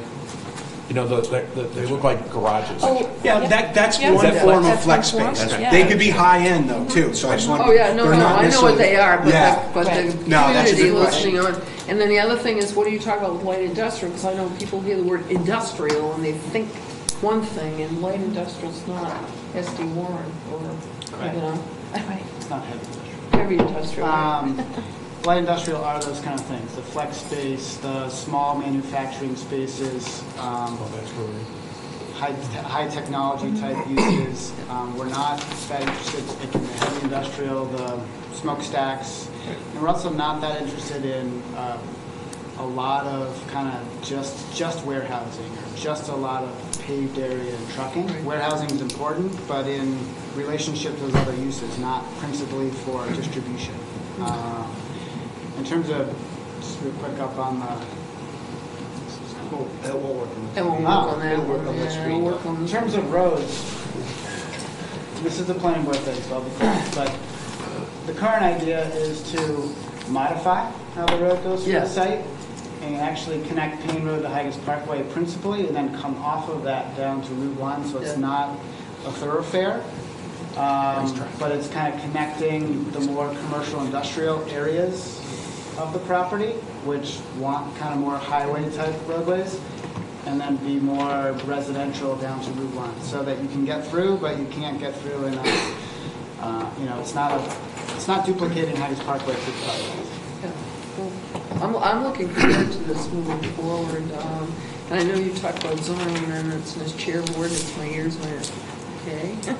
So the sooner, you know, we can look at long-range planning, it's gonna look at some of it, and it may not come to ordinance, because sometimes long-range planning will work on it, it doesn't need to come to ordinance. But I'm also on long-range planning with Chris, so Yeah. sooner you get some of this stuff out there. Uh, I'm glad you pointed out that the, the roadway that exists there now really is a high-speed straightaway. Oh. People bomb through there, use it as a shortcut. That what you're proposing is a roadway that will come in and then hit intersections at which they will then go off to other either commercial or residential uh, settings. And so uh, I think that's important for people to realize that it's going to look dramatically different. Uh, We have about 10 minutes left. Let's go around the table one more time with either comments or uh, questions, if you want to say wrap-up comments, however you want to put it. Chris? So, um, well, a couple quick comments first. Um, Piggybacking on Katie's question about uh, solar energy, I, I'm looking more at the sustainability aspect of it. That's one aspect of it. I'd like to see maybe some green design, um, energy efficiency, microgrid, there's all kinds of, a plethora of things you can look at for modern sustainability, and that's, that's a, I know that's a catch-all phrase, but um, we now have a sustainability coordinator, and that's going to be part of our big comprehensive plan as well. So um, I'd like to see some of that. Um, Zoning changes, um, I think, I I- I don't see, I have no initial concerns for anything that was on the table. Uh, Obviously, devil's in the details, we can work through that stuff. Um, Whether it's, you know, coming up with something specific for the existing grandfathered sign, or I'd like to see what you guys have in mind for the- some of the other gateways, um, whether you want to just replicate and duplicate, which may be an issue, or kind of get get a feel for what your intentions are for that. Um, Have you guys done a final survey yet? It seems kind of, there's some questions about what land is where and who owns what, Well, we, so... did- we have a final survey. Okay. Um, We don't have a hundred percent buy-in uh, from abutters in this area up here. Oh, Okay. We're very confident that we're right. Okay, Um, We're not, we're not hundred percent there yet. Is okay. it- is that Warren that's- Woods? That's, uh, pardon me? Is it Warren Woods? Uh, we're it's about back of Warren. Woods It's a in this area. But Okay. there were, there were three, the tax map showed three Right. pieces of land here that were sort of landlocked pieces. Uh-huh. And um, we wound up owning one of them. There's two more down here, uh, and there's, there's a little bit of a question mark about what, what goes on with that. So we're working through that. Again, we think what we're showing you now is correct. Okay. Um, But the- I guess the message is, you know, whatever we have, we'd like it all to be the same zone. Sure. It just seems to make sense uh, to us. Yeah, yeah, So- that, that that definitely makes sense.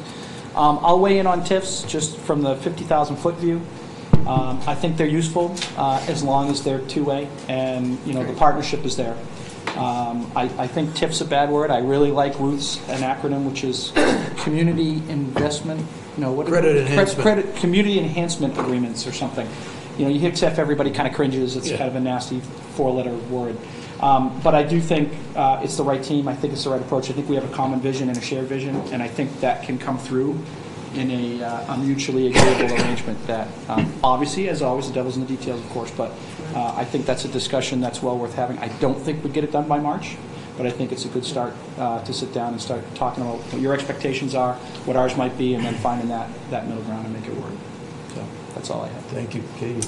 Um, Yeah, I guess I, in- just in general terms, I'm very, very pleased that the project's landed in your hands. Um, I think having folks who know and love this community, as we all do, is, couldn't have asked for a better partner. Um, So I'm excited about that.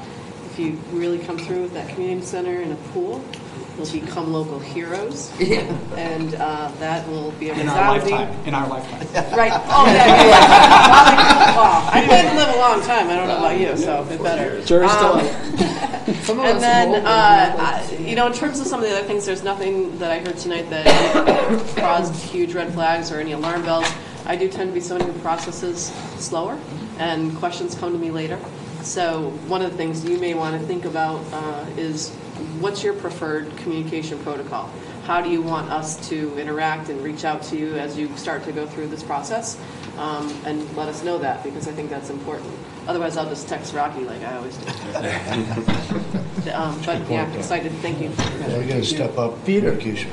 I guess I'll echo what I just heard. Great team, welcome, good luck. Um, It's exciting, but I, but I think I'll kind of direct the next comment probably to the chair and the town manager. I think kind of piggybacks on something Councilor Caterina and Babine talked about, and that is, I think it'd behoove us, at some point, we need to do a really in-depth sort of analysis of what this will do to town services and the demand and sort of the timing, so we get a better idea of at least our planning process, that's one of our goals, to look out one, two, three years to see what's coming. You know, Councilor Babine's already talked about the school has a project on their list, the library has a project on their list. I think it'd be really important for us to understand what the demand on services will be and what that might mean for investments for the town. Thank you. Uh, So uh, I'd like to use my time uh, with a question. I was wondering if you could just uh, speak a little bit about how you plan to address the affordability requirement. It's a great question. Uh, We have a 10% requirement uh, of of the housing in here has to be affordable. Uh, Frankly, I think we have, uh, in multifamily, I think we have it figured out. I think we have a way to do it. Uh, We're doing it on, uh, at Carrier Woods on Mussey Road. Uh, As for other pieces of it, I'm not sure that we have, we have that figured out. Uh, And it- we had a long conversation about it yesterday amongst ourselves, and uh, we need to figure it out. Uh, We really need to get our heads in it and- and understand, uh, know, what the requirements are, what they mean. Uh, How do they that- test? that requirement was lowered, the eighty percent was lowered recently, and it's, it's, it's gonna be tough. I'll tell you that right now, it's gonna be tough. Uh, But we'll figure it out. And if it can't be done, we'll figure out what the next best thing is. We want to Work ring the together bell on it. We, we want to, you know, we want to make it happen. We wanna make it happen. figure Thank you. Sean? Numbers are numbers. Just want to say thank you. I'm all set. Very good presentation. Um, I'm just thrilled with, you guys are, when you closed on this, I'm like, yay, hallelujah. Um, and I'm looking forward to working, yeah, I bet. I'm working with all of you on this. Um, I don't have any more questions or comments at this time. Thank you. Um, I, I think you have a very high-functioning, very capable town council who are all in, in, in, in support of you people, know you, like you, respect you, and so there's tremendous momentum for this to be successful. Uh, What our role is, I would say, we want to be facilitators, uh, we want to be collaborators. Uh, When you think about uh, some of the resources that are available to you, uh, to Chris's point, we have a sustainability coordinator who is terrific and easy to work with, and who would be, would love to have you sit with her and say, what is your vision for a whole new town and town center?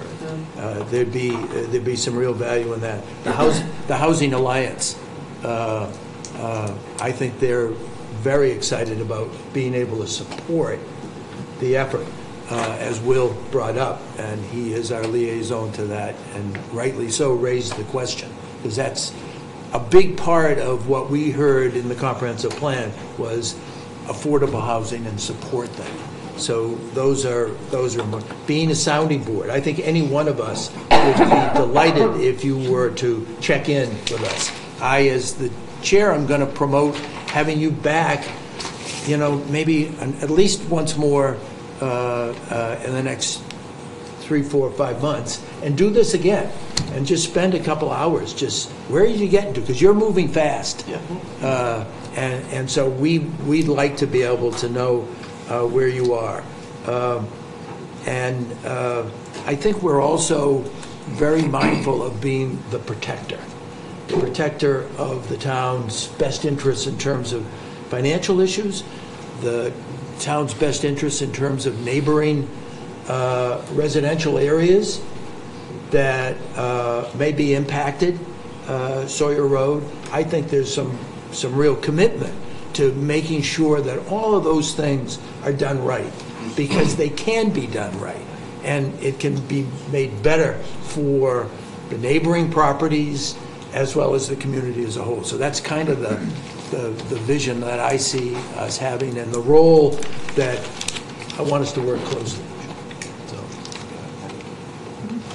I think we're on the same page. Thank you. And, and the presentation was terrific. It went, uh, I think, met everyone's expectations of giving us an idea. I'm glad we got this maybe a month later than, because I know you're moving fast. And so, uh, thank you so much from all of us. Thank you for your time. Snowed in. Yeah. So am I. Just one thing, I do expect there'll be a lot of interest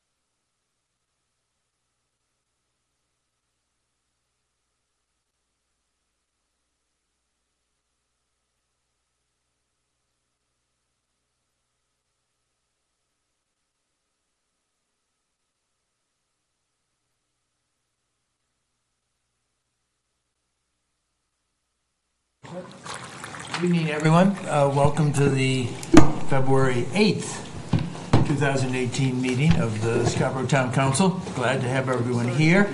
Uh, If you'd all rise and pledge allegiance. I pledge allegiance to the flag of the United States of America and to the republic for which it stands, one nation, under God, indivisible, with liberty and justice for all.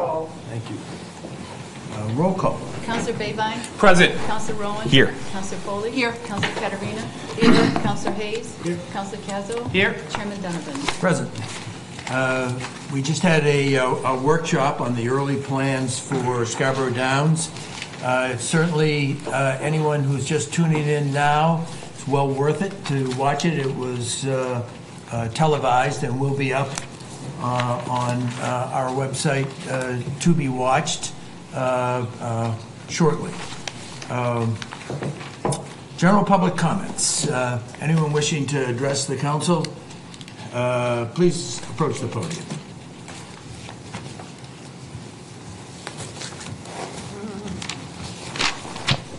My name's Mo Erickson. I live down on Pine Point Road. Uh, Just a quick comment about the uh, development at Scarborough Downs. Can't wait for that heated pool. Thank you. Very good. I think that's well endorsed.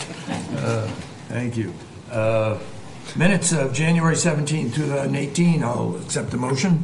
So moved. Second. Uh, Any comments or corrections? Seeing none, all in favor?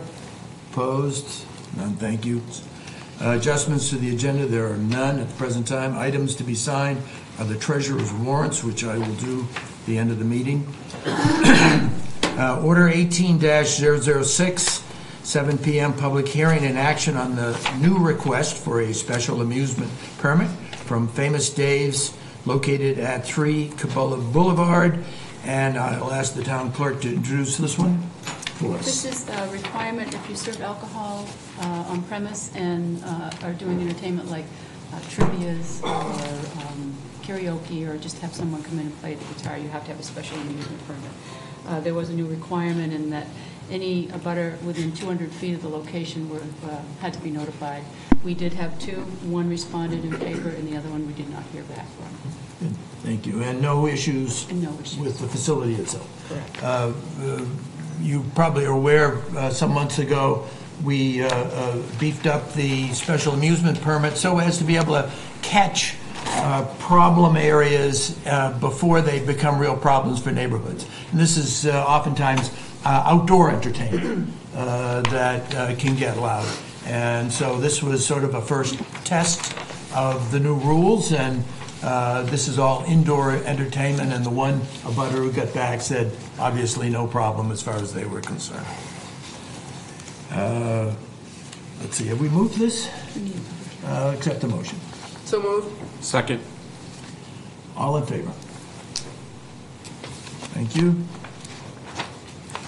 Order 18-007, public hearing and action on the new request for a food handler's license and innkeeper's license from ABVI Scarborough LLC DBA America's Best Value Inn Millbrook Motel, located at 321 US Route 1. I'll ask the town clerk to do this. Uh, this is a new owner. Uh, Permits and licenses are non-transferable. Therefore, this is required to be before the town council for approval, and there are no outstanding issues. Thank you. Any member of the public interested in speaking to this item? Seeing none, I'll accept the motion. So moved. Uh, Any discussion, comment? Seeing none, all in favor? Unanimous, thank you. Uh, Order 17-109, act on the request for the Scarborough Town Council to order the discontinuance of all portions of Avenue 2 located southerly of King Street with no damages ordered to the abutting landowners, and to file said order with the town clerk, and to send abutting property owners notice of this action, and schedule the public hearing for uh, Wednesday, February 21, 2018, and Wednesday, March 7, 2018. This is a matter that has been tabled from the January 17, 2018 meeting. The uh, order itself is identical to the order that was tabled at that time, except we do uh, update the uh, hearing dates uh, as a matter of custom and practice so that the hearing dates would actually work. Uh, Other than that, it is as it was tabled on January 17th. Uh, Anyone, uh, member of the public wishing to address this issue, please approach the podium.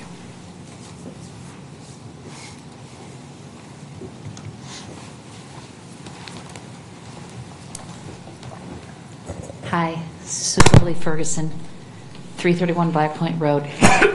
Um, I'm here to ask you to reconsider your approach to maintaining access to Avenue 2 extension for the right-of-way to the beach.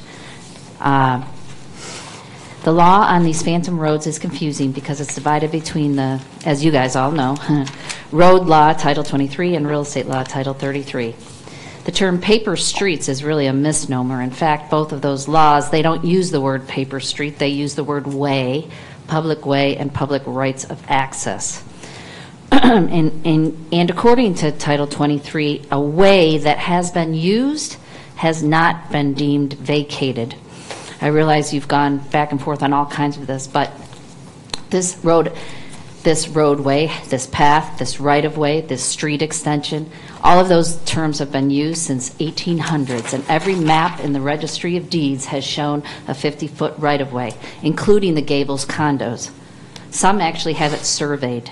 In fact, the prior owners, the Johnsons, testified to you at a previous hearing that they built the existing building. When they built the existing building, they were required to adhere to regulations governing a corner lot. This can be verified by checking records in the planning office. Despite the assumption made at first glance by your attorney, a paper street does not have to be constructed to street standards to have been used. And when the subdivision was accepted and the paved portion of Avenue 2 and the unpaved portion of Avenue 2, they both were accepted. Because why? Because its use began and its use continued. Uh, maps in the Registry of Deeds strengthen this argument. I think the approach I think you should take to make this a win-win for the public and for Mr. Gendron, you should consider entering into a contract zone instead of discontinuing our rights to 50 feet that has been in constant use for 200 years. Giving up 40 feet of road is not in the town's best interest if there's an easier alternative that's satisfactory to both. A contract zone allows a reasonable use to benefit both the applicant and the public. The benefit to him, the house that he wants, and less taxes. The benefit to us, maintaining all 50 feet. Greater Portland Council of Governments, in a report, said, I quote, "It is not necessary for a paper street to have been accepted by the town prior to its construction or use for it to cease being a paper street." Maine Municipal says, "The road must be accepted by the legislative body or, mu- or must be constructed and utilized as a private right-of-way, which it has been for over 100 years. And they also clarified in 1997, MMA, which is a bunch of lawyers, that the roads that were used but not accepted were not deemed vacated. I encourage you to contact GP COG and MMA to see whether they still stand by these statements. And uh, the town's attorney made an assumption that a paper street needed to be built to street specifications. So in his rebuttal, uh, he made that assumption. This is not the case. The law does not establish that uh, there's any road construction standards. In fact, like I said, it's confusing. So why not do a win-win for all of us, a contract zone? And why not be the town council that protect, that quits giving away valuable public land? And actually is a win-win for all of us. Um, And I- I'll send you guys the documents that I referred to in the, in- Thank you. you're welcome. Uh, Anyone else wishing to address the council on uh, this order?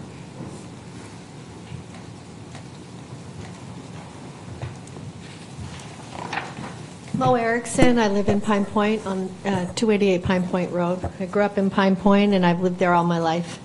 Um, You know, in a similar vein, I guess I'd, I'd like to ask somebody on the council, why don't you be the one to change your mind and not give this, this pathway away?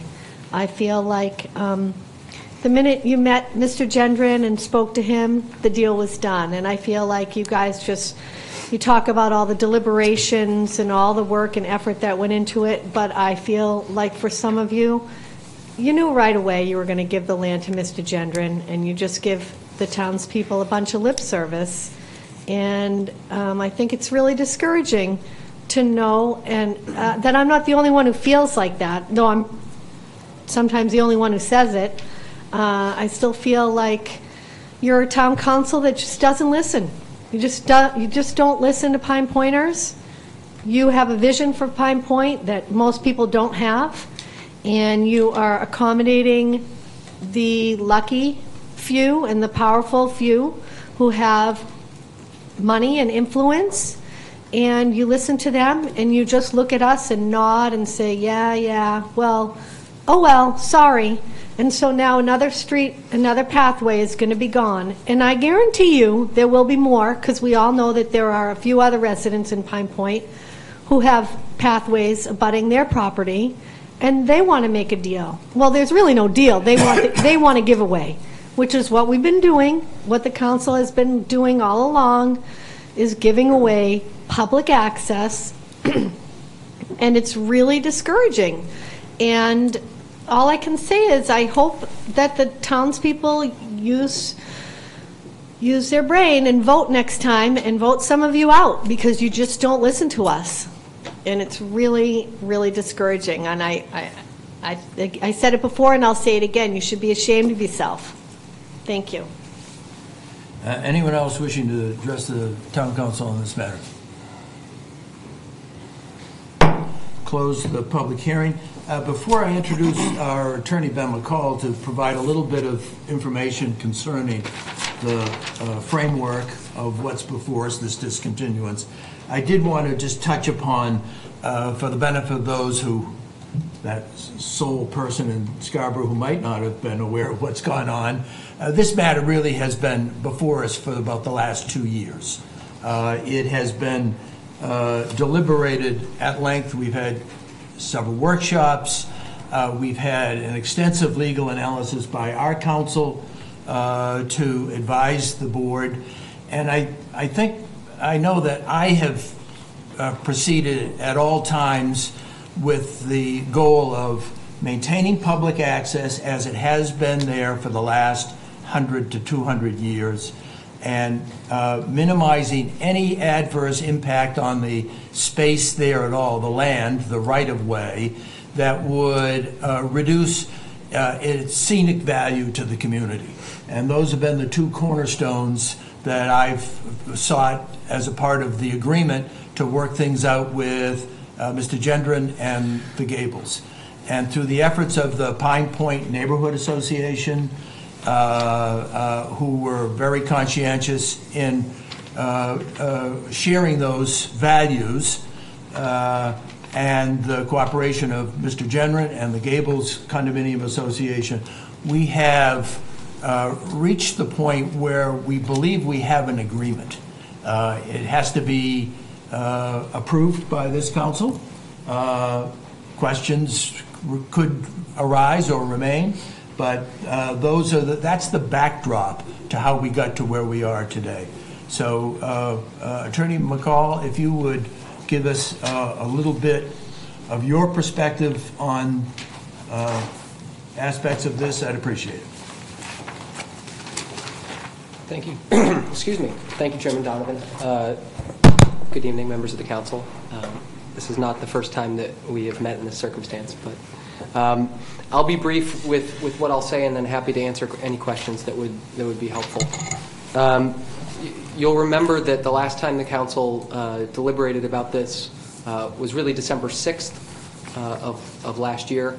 Uh, To sort of set the context for where we were at that point, uh, the Gables uh, by the Sea Condominium Association, which is one of the abutters of this section of Avenue 2, had retained new counsel a couple weeks before that December 6th meeting, had made some suggestions for changes uh, to the easement uh, that they would be granting to the town. Um, And it was the desire of the council at that point, uh, instead of uh, going forward with, with those changes as proposed, uh, for all of the parties who have been meeting in, in roundtable discussions to meet again in December uh, and attempt to come to some sort of agreement as, as that would befit uh, all the parties. So representatives of the Pine Point Neighborhood Association, uh, representatives of the Gables, uh, as well as uh, myself uh, and Tom Hall and Chairman Donovan participated in a meeting in late December. And out of that meeting came four changes that are highlighted in your, in your documents today that I just want to briefly touch upon. Um, The first major concern that the council had potentially had uh, back in December was uh, restrictions on public use uh, and, and with whom uh, the enforcement uh, mechanism would, would lie. Um, The documents now clarify uh, any language that prohibited uh, drugs, alcohol, and set hours of operation is now gone. Uh, And instead, there's direct reference to Chapter 612 of the town's Code of Ordinances, which sets out rules for public parks, which in effect uh, imposes the same types of restrictions that would be on any, any public park. Uh, The documents also make clear that uh, it'll be Scarborough PD that has the enforcement uh, power uh, for, for this section of Avenue 2. Um, I think it's worth pointing out that uh, because these are easements granted by two private parties to the town, um, there is a, a, a theoretical, hypothetical situation where a true, what we call an overburdening of the easement occurs. Um, these would rarely happen. Uh, you know, this is a situation where, uh, you know, for instance, a group of, of individuals, you know, decide to build a structure in the middle of the path or, or something like that that's truly outside of the scope of these easements. Um, both parties, uh, being the Gables and Mr. Gendron, would retain their right uh, to bring an action um, as any other uh, holder of a private easement would. But I think uh, it's certainly, the, you know, the spirit of the agreement that uh, it's Scarborough PD who will be enforcing this uh, the way they do any other um, uh, public park or, or way. There were also issues about signage. Um, The parties agreed that the sign placed at the, at the mouth of, of this path on King Street uh, will read, uh, "Private uh, way to Pine Point Beach, motorized vehicles are prohibited." Public way. Did I? Private. That was a slip of tongue. My, my apologies. Um, There will also be two small signs uh, on the split rail fence on the gable side of the easement that will mark uh, that area as sensitive dune area, uh, which is certainly a fact. Uh, It also has the, uh, hope- the hopeful effect of, of causing people to not venture into, into that area. Um, So those were the four main, uh, the four main changes that were uh, made to the easements. Uh, Beyond that, there, there really is no change uh, to what you saw in December uh, or back in, uh, in October. Um, I suppose I I will note, although um, I know Alyssa Tibbetts, a a colleague of Charlie Katz-Levy, is here if you have any questions regarding the Gables.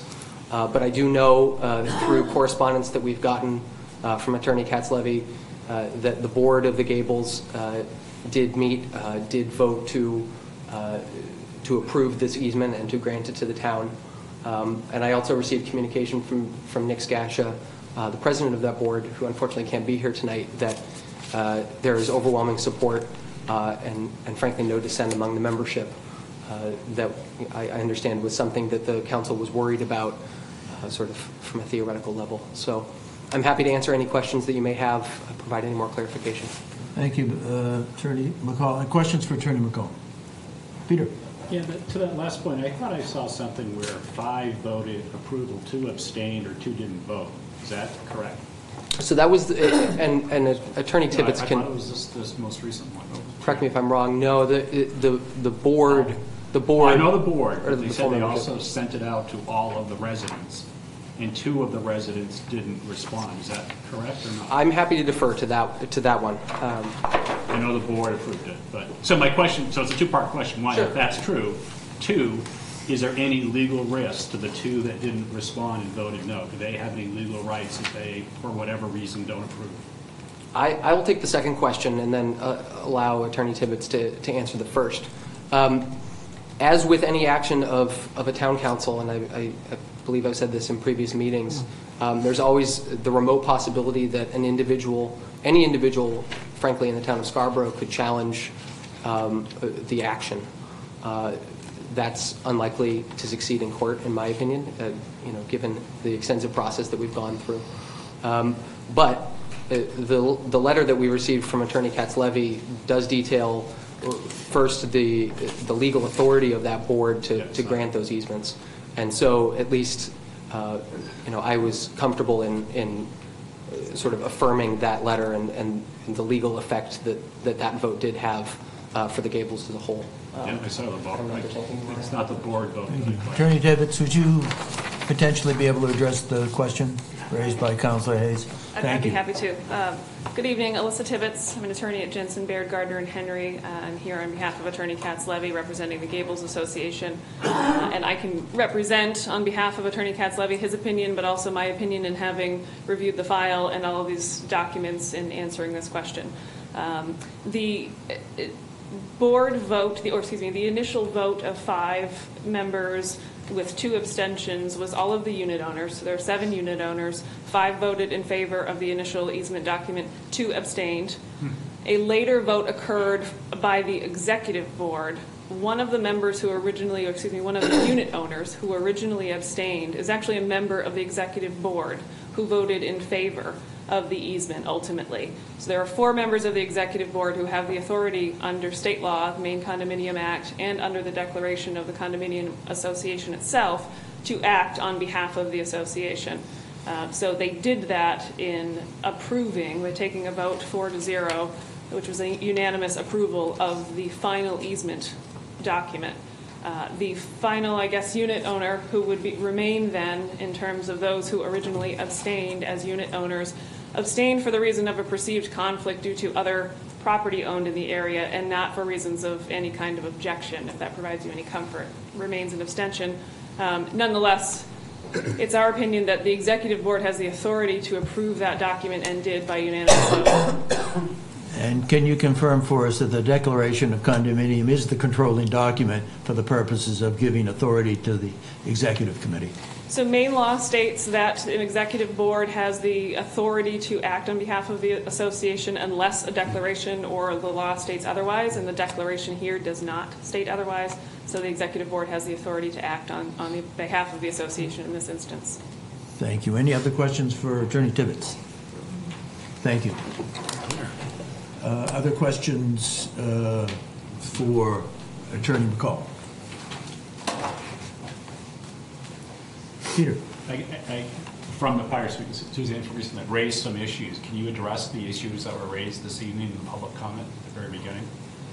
Well, all of them, I- to address all of them fully would probably take, uh, you know, a little more time and thought than obviously can be put into them on the, on the spot. Um, The issue of- of deemed vacation was brought up. Um, In my opinion, that sort of deals with a separate area of, of paper street law necessarily, uh, which is the situation where, um, under the Maine Paper Streets Act, uh, a town had not uh, acted um, by 2007, September of 2007, to either accept um, an existing paper street that existed before 1987, um, or had decided to vacate it, which is to release all rights that the town had, um, or to effectively kick the can down the road for, for 20 more years. Um, So uh, the question of whether, uh, you know, whether Avenue 2 can be considered to be deemed vacated, um, I, I would say that Attorney Bannon and I have separate opinions on that. You know, the, the premise that the town has been acting in um, throughout this entire process is that uh, back in the 1950s, uh, the town in fact did accept um, Avenue 2. It's impossible to discontinue a, a road that has not been accepted. Um, So, uh, you know, a deemed vacation is not necessarily applicable in this, in this situation. Um, There was also the issue of a contract zone brought up. Um, You know, under, under Maine law, the, the legislative body of the town does have the authority to uh, create contract zones. Um, I understand, I, I don't under, don't understand or know whether that had ever been uh, contemplated in the situation. It certainly hasn't been contemplated as, as long as I've been involved. Um, And from the face of it, I, I would have some questions and concerns about the use of a contract zone uh, to affect one parcel and one parcel only. Um, I suppose I'd, I'd say that uh, from the beginning, the, the town's stated objective in this was to protect public access uh, to Pine Point Beach um, and to decrease the effect that any possible discontinuance on this stretch of road would have. Um, And I think the documents that are before you tonight have achieved that goal. Um, There certainly, uh, if we backtracked two years, uh, I I suppose there are, uh, you know, alternatives or additional routes that could have been considered and taken, but uh, at this point, that was not the route that we've been going down for the last two years. Um, I don't know if that completely answers your question, but. Uh, Other questions? Counselor Rowe? Yeah, I, I realize this is a difficult question, but um, were were the um, the town's right of way um, to be decided in uh, court of law? Um, do you have an opinion of the level of certainty that, that you have, given what you know, Sure. about whether or not uh, the town of Scarborough would retain the, the right of way to, to this section of road? Right. So we, our firm drafted an opinion letter to that effect. I believe it was December of 2016. Um, After having reviewed uh, Attorney Bannon's extensive uh, research on the subject and doing our own extensive research, I think, as, as the chairman alluded to, um, our conclusion in that letter was that there's a great deal of uncertainty as, as to the status of, of this section of Avenue 2. Um, I- There are two plans, uh, not to get too far into it, but there are, you know, there are two plans, one from, I believe, 1875, and then one from approximately 10 years later, um, that do show uh, portions of Avenue 2. Um, There's also an open question as to whether the town ever uh, had a legislative action that, that formally accepted that portion of Avenue 2. So we looked at it, um, and our best legal opinion was that uh, we were uncertain as to how those rights would hold up in a court of law. And based on that, that was why our recommendation was to move forward with what Mr. Gendron was proposing, which would effectively uh, take away the uncertainty, because as, as you know, if this were to, to come to court and the town were to not prevail, uh, there is no guarantee or, or responsibility on behalf of, of those abutters to allow public access. It would become fully private land, uh, not subject to any encumbrance or, or public access. And so this, you know, uh, presented the middle ground that we felt most comfortable with recommending. Thank you. Can I just ask one follow- clarifying follow-up? Sure. I think you just stated it, but I just wanted to be clear. So were, so were this to end up in a court of law, and were the town of Scarborough to lose our, our right-of-way, what you're, what I'm hearing you say, excuse me, were, were the establishment of the town of Scarborough's right-of-way to be denied by a court of law, uh, what I think I'm hearing you say is that we could potentially, the abutters could therefore take the path away from the public asset and mark it as Right. private. So the risk that the town would run in that situation was, would not, would would be uh, that the court, you know, finds that Avenue 2, that section of Avenue 2 was never formally accepted uh, by the town, therefore title passes uh, from the center line to each abutter, and then you're correct. Um, There's certainly, there could be a a negotiation at that point, but uh, you could understand that the leverage uh, in that situation uh, would shift. Okay, And then last, lastly, if I could. Uh, So then, uh, however, by making this agreement, what, what's outlined here is a permanent right-of-way that guarantees that this path will, will exist in perpetuity uh, along that section of land. Correct. The, so what is happening here is the town is agreeing to discontinue any, any rights that it has in this portion of Avenue 2 in exchange for receiving a, an easement from each abutter, uh, which clearly specifies the continued use as a public path. Um, And more to the point, uh, on both sides also has a very well thought out, I think, and detailed landscaping plan uh, that preserves uh, sort of the natural setting there. Um, And, and to cut to the heart of your question, yes, uh, easements when granted are, are perpetual. Um, That's uh, the intent of the documents and, and their effect also. Thank you. Counselor Foley? Um, so mine kind of piggybacks on, uh, Will's third point. So let's say we go forward, we discontinue, uh, the land and fifty years from now, there's two new owners. um, or potentially, obviously, on the Gable side, there's more. There's no possibility that they, those landowners in agreement could come back and want to extinguish the easement that they've granted to the town. Because I've seen cases where easements can be extinguished. So easements can end. Um, There are circumstances, legally speaking, where they can end. They can be extinguished by agreement of the two parties, in theory. Um, I, you know, uh, professionally don't think that likely in this, in this circumstance, but um, you're correct. These, these easements are perpetual in the sense that they run to the, uh, you know, the the legal languages, heirs and assigns, et cetera, of, of both parties, and so are intended to be that way. And I, and I don't question the intent of those there today. I'm trying to protect, uh, you know, 100 years from now when I'm not, or none of us in the room are even here anymore. So, thank you. When I researched that issue, uh, uh, the only exception to the in perpetuity circumstances was often challenges that said there's no reason or purpose for having the easement any longer. Uh, And that was the only circumstance outside an agreement to extinguish it. And if we had, for instance, uh, tidal conditions that caused the ocean to occupy that space in the future, that might be the basis on which, because it would be rendered moot. And that was the only thing I found in the legal research that I did as a lawyer. There are other less common scenarios like abandonment, um, you know, where it's, it's clear that uh, the easement is no longer used. Um, It would also be a scenario, I suppose, if either easement owner uh, put up a physical barrier and the town did nothing about that, then over a course of years, that could, that could be an issue also. Uh, Again, these are not likely scenarios, but they have existed at some point in time. Any further questions from the council for Attorney McCall? Thank you. Appreciate that. Um, Yeah, uh, I'll accept the motion. So moved. Second. And we'll have discussion, but first, if there are any uh, motions to amend, we'll accept those first. Counselor Caterina.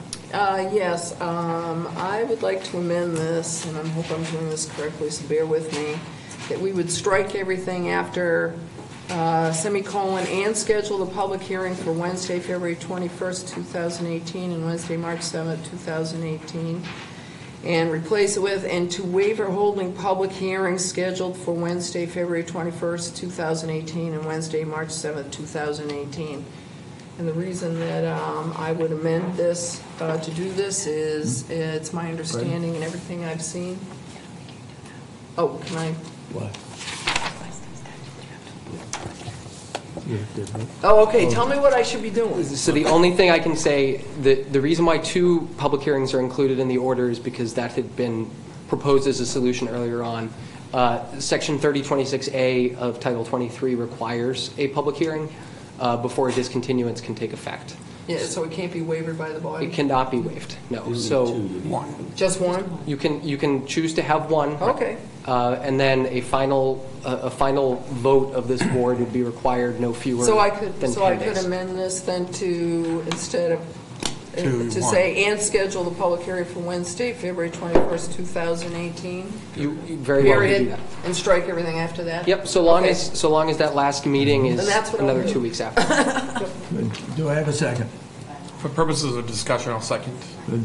Uh, I think the uh, a motion to amend is seeking to uh, hold a public hearing rather than two public hearings. That's the purpose of the motion. And then we would still have a, one further proceeding at which public comment is certainly going to be allowed, as it was today. Uh, And that's the process, I think, that is contemplated by this amendment. Uh, yeah, and And did you want me to? you want to speak to it, Liz? Yeah, I'd like to speak very, uh, very briefly to it. As you know, I left this town council in November or December, December of 2000, whatever year it was, a couple of years ago. And this was being talked about then, and it's still going on now, two years later. Um, I, I would be hard pressed to find any other issue in this town that has been aired more thoroughly, had more attorneys involved, had more parties involved, had more people able to speak to it, that to me, just to use the old Maine terms, time fish or cut bait. Um, and I, I would think we need to move forward. So, I mean, I'm happy, obviously, I don't want to be breaking any state laws to do with, with um, um, um, um, uh, discontinuances, but, you know, frankly, this whole process, it sounds awful. It does sound awful to say, oh, we're going to order the discontinuance of this road, but basically, from a purely real estate point of view, all you're doing is clearing title. Because there's been all sorts of questions about who owns it and who has control and who doesn't. The bottom line for me is that we are guaranteeing public access in perpetuity to this property. And quite frankly, um, we could eventually end up perhaps getting a bit more tax money too if the abutter is able to do whatever the abutter is planning to do for their property. So, you know, Fisher Cut Bait, that's where I'm at. Uh, Counselor Babine. Thank you. Could have been called worse. Um, So um, I don't disagree with Council Caterina's logic behind this because, to me, I think we're at a point where we could. But um, thinking through the process, we, we are the ones who made this promise and asked for it to be part of this. Is I don't believe any group um, asked for this. I don't recall that anyway. So I think this was something that we put forward. And I think that we need to hold ourselves to the fact that we did make this promise and that we should have the two hearings. If anything, though, it might be a good um, test case to uh, consider um, if this subject comes up again, whether or not we really want to enter into that type of promise up front um, rather than waiting until we get to this point. So um, I'm going to vote against the amendment, um, just so you know. I don't want you to be upset, but I think we need to keep a promise. Counselor Rowland. Yeah, so um, I, I uh, also um, feel like we're not required to have the two hearings. However, we did say that we were going to have the two hearings. Um, But I lament the fact that, uh, uh, I appreciate the sentiment because, um, as you can see in the audience, we have several lawyers in the room uh, with a very high billing rate um, that are going to be required to be here. And it's too bad that we have two hearings. Um, But I think that because we said that we were going to, we should continue. Other comments? Counselor Fogle. Very similar to uh, what Counselor Babine and Counselor Rowan both said, but I also just feel like, um, while for us, sometimes it feels like we're hitting our heads against a brick wall and talking something to ad nauseum and to death, to the public, it's not always the same way because they're not behind the desk and they're not living it the same way that we are. Um, So I think we stick to the process. I think that's the right way to go. Other comments? Counselor Hayes. Yeah, kind of echo what we just heard, but for slightly different reasons too. There'll be something else, a couple other agenda items. I think this year, our goals were to reestablish trust and transparency with our constituents. So I absolutely agree. We had announced that it's going to be our process. To change it just doesn't further that in. So I think we announced it, and we committed to it. I think we should do it. I think we should give everybody plenty of opportunity to express their opinion. So I also won't support shortening it. Thank you. Counselor Casey. So I have two questions. Um, First is, what does um, removing a second public hearing due to the process, and likewise, what does keeping it in due to the process in terms of uh, the outcome?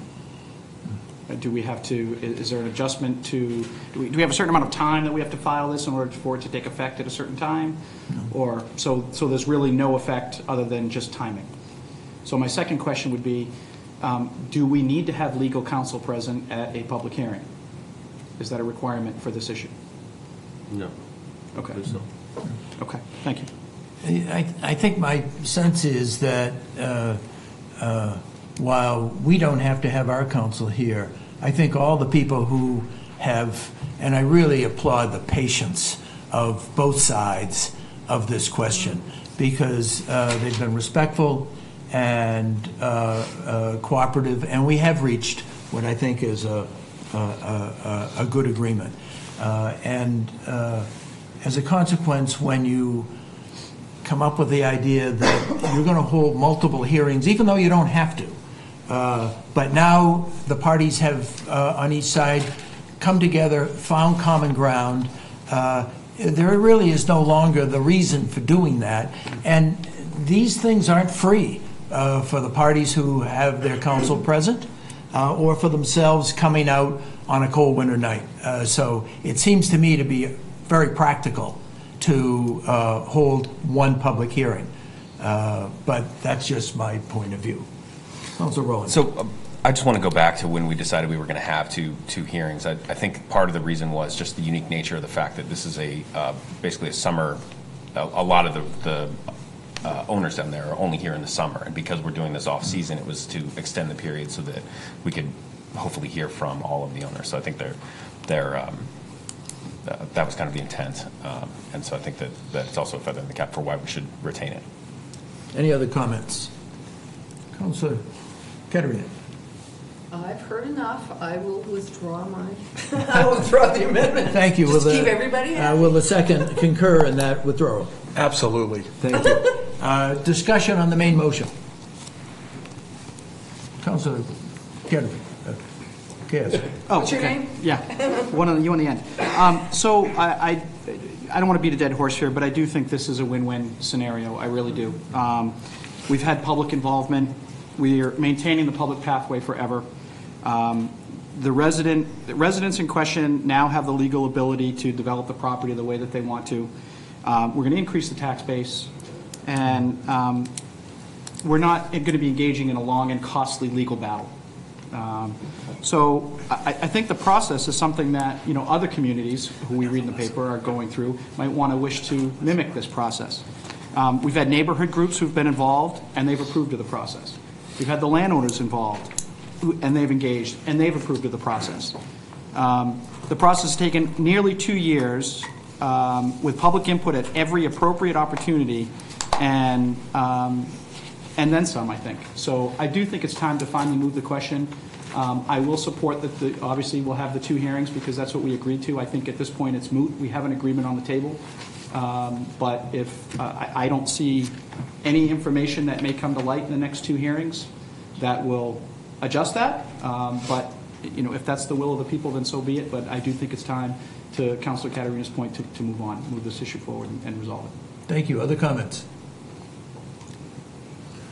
Counselor Foley. Um, So I think everyone knows where I stand on this. I, I don't support discontinuance for a variety of reasons. Um, One of which is I, I do believe the town owns the land. I don't, I believe this is different from other areas where we have done discontinuance because there's, there's not a hardship on this landowner. Uh, And there were some other creative ways we could have afforded him an ability to still build what he wanted to build there. Um, the only ongoing concern I, do have is, um, we did recently get some information around what we could expect for a tax increase potentially, and the fact that it doesn't seem to be an equitable split. Um, So I'd like to follow up and get some more uh, information on exactly the reasoning why, and I just haven't had the time to do that. So that's, for me, that's another reason why giving us a little bit more time will allow me to get those answers, and maybe I'll get more comfortable, although admittedly, it's not likely to change my position on, uh, on the overall. Thanks. Thank you. Counselor Rowan. Yeah, I, I just wanted to talk through kind of, kind of uh, where I'm coming from. I am going to support the uh, motion. um, That, uh, uh, I've heard a lot of people say that we're, you know, somehow this is land that we own. Um, It's, it's not an asset of the town in terms of something that we could buy or sell. Uh, We can, we, we can't sell this to somebody and have them build a house there. Um, We couldn't put a park there. Um, We have a right-of-way, uh, which gives us the ability to uh, allow the public to travel over it. Um, We could pave it, um, we could run utilities down it, but it, it, it runs, you know, 100 feet or so and uh, to the beach, and there's no reason why we would do anything to it other than what already exists there, which is a walking path. Um, And um, there is a, um, I do have a a concern, I don't think this is a perfect agreement, because we do have to, to change the path that's been there for 150 years, and I think that it's, it's too bad that we do. Um, But in order to have it go down the middle of the, the now 10-foot right-of-way that we're going to have, um, it, it does have to change. Um, We also have the um, conservation easement, which means that you can't put a structure there, so neither of the abutters has the ability to build inside of that 50-foot, 50-foot zone. Um, I think that, that we're not giving something away for nothing. We're getting a guarantee that we have access to this uh, forever, unless there's some kind of circumstance whereby we've abandoned this, or um, uh, as long as the public wants to use this, this land, the town of Scarborough is going to be on the hook to make sure that if somebody puts up a fence, we take it down. Um, But it's on us um, to make sure that that path stays there. Um, And, but this agreement gives us the right to always have a path there. Um, And so I, I think that it, it really is in the best interest of all of the people in town. Um, I'd like to think that, that also, that uh, uh, a lot of the neighbors would agree to that. Um, And I think that they, um, they've come together at least to make this a, a, a palatable agreement. So we worked through a number of issues over the last two years, um, and most recently, the, the uh, changes that have been worked through around selective enforcement or who has the right to enforce. Um, So I think that we've come to um, a reasonable accommodation, um, and I'm going to support it. Thank you. Councilor Beba? Mr. Hayes has his hand up first. Councilor Hayes? Um, I guess, it- you know, it's probably no surprise, I've been in this place, the same place for the two and a half years, however long we've talked about it. I, I'm not going to support it for a variety of reasons. I'll probably give some more to them, but there are a couple things that have been said tonight that, that do bother me a little bit. And one is, even the groups that participated in negotiating the deal, and I agree, they, they, they, they did it, they did it in good faith, they, but they will say this is not their first choice. Their first choice is not to continue, discontinue Avenue Two. So they have, they've made, you know, lemonade out of lemons. They, they really have crafted something that they can live with, which is kudos to them. Two, I've talked to a lot of people, and you heard tonight something about, are we listening? I have, the emails I've gotten, and to everybody I've talked to, no one is in favor that I have talked to of giving away or discontinuing Avenue Two. Folks are saying they really think this is something the town should retain. Um, It was said tonight that it- there's, there's two legal risks here, all you have to do is look what's happened in Cape Elizabeth. Yes, we may, we may avoid one legal risk, but we're gonna have another legal risk, which, you know, private rights, and we already know that, that, you know, some of the beach communities are very savvy, they have resources. I think there is some risk that we're still gonna be in a protracted battle about this as this goes down the pathway. And most importantly, I was really concerned about when it was described tonight, when it did come to us in December. One of the abutters wanted to be able to restrict use and access to the path at certain times and certain things and create their own policing of the path. I think that bodes that down the road, that may be some, some problems for us. So I, I don't support discontinuing this. I think we should retain it and, and see where it goes. Councilor Beba? Um, I use history a lot um, because I've been around for uh, quite a few councils. Um, Been on this council when both, uh, when Avenue 5, 6, and 7 have all been discontinued. Um, All, sorry, 5 and 6, we retained the public access piece of that. 7, we did not because of its proximity to the beach already where it is, and it made sense not to because of, it was so darn close to that little co-op beach anyways. So I use those as kind of an example for me at least in how I've made the decision over time. And the fact that we are keeping public access. Um, Well, let me back this up. The fact that we're authorizing the discontinuance tells me that we are accepting and stating that this is our property. Because otherwise, why would we be discontinuing something that we don't own? Um, The fact that uh, how I looked at the other properties um, or the other pathways does influence that. I do want to mention that there's been a reference to the Cape Elizabeth kind of issue that's happening. Um, If I understand, though, that issue is actually almost a complete opposite, because the town is actually stating, well, it's kind of the same. They're stating that um, the path, uh, their avenue, or whatever that road is called, is theirs, and they don't want to give up the public access, and the the butters are suing, stating, no, it's our path, and you can't use it. So it's a very, very different scenario in which the landowners are actually exercising what they believe is their right, and we could be in that same situation if we went down that path. And I think if anything, if we look at um, other, other situations in town about lawsuits, uh, maybe a lesson learned is about coming to a compromise, finding a solution that everyone can agree to, while it might not be perfect, um, does benefit the town as a whole. And I think that this is a good example of that happening. And so um, I support this, have ever since uh, day one, and I think that this is a good solution because it continues the pathway. Uh, And maybe the pathway can be called the Avenue 2 pathway, so at least it keeps its historical name or some type of configuration and gets, you know, commemorated in the signage. Thank you. Uh, Other comments? Uh, Just so we're clear, because there's no doubt about this, at best, the town has a public access right-of-way, an easement. It doesn't own this land. And any reference that you hear to the town owning the land It's just not true. It's only an easement. That's all towns get uh, historically for roadways.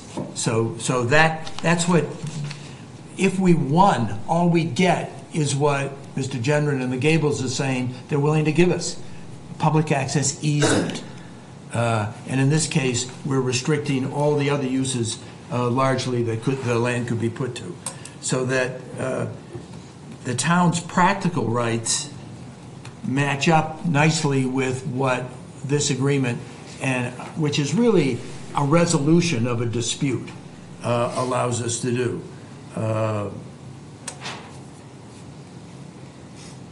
So, further discussion? Seeing none. Uh, All in favor? Opposed? Thank you.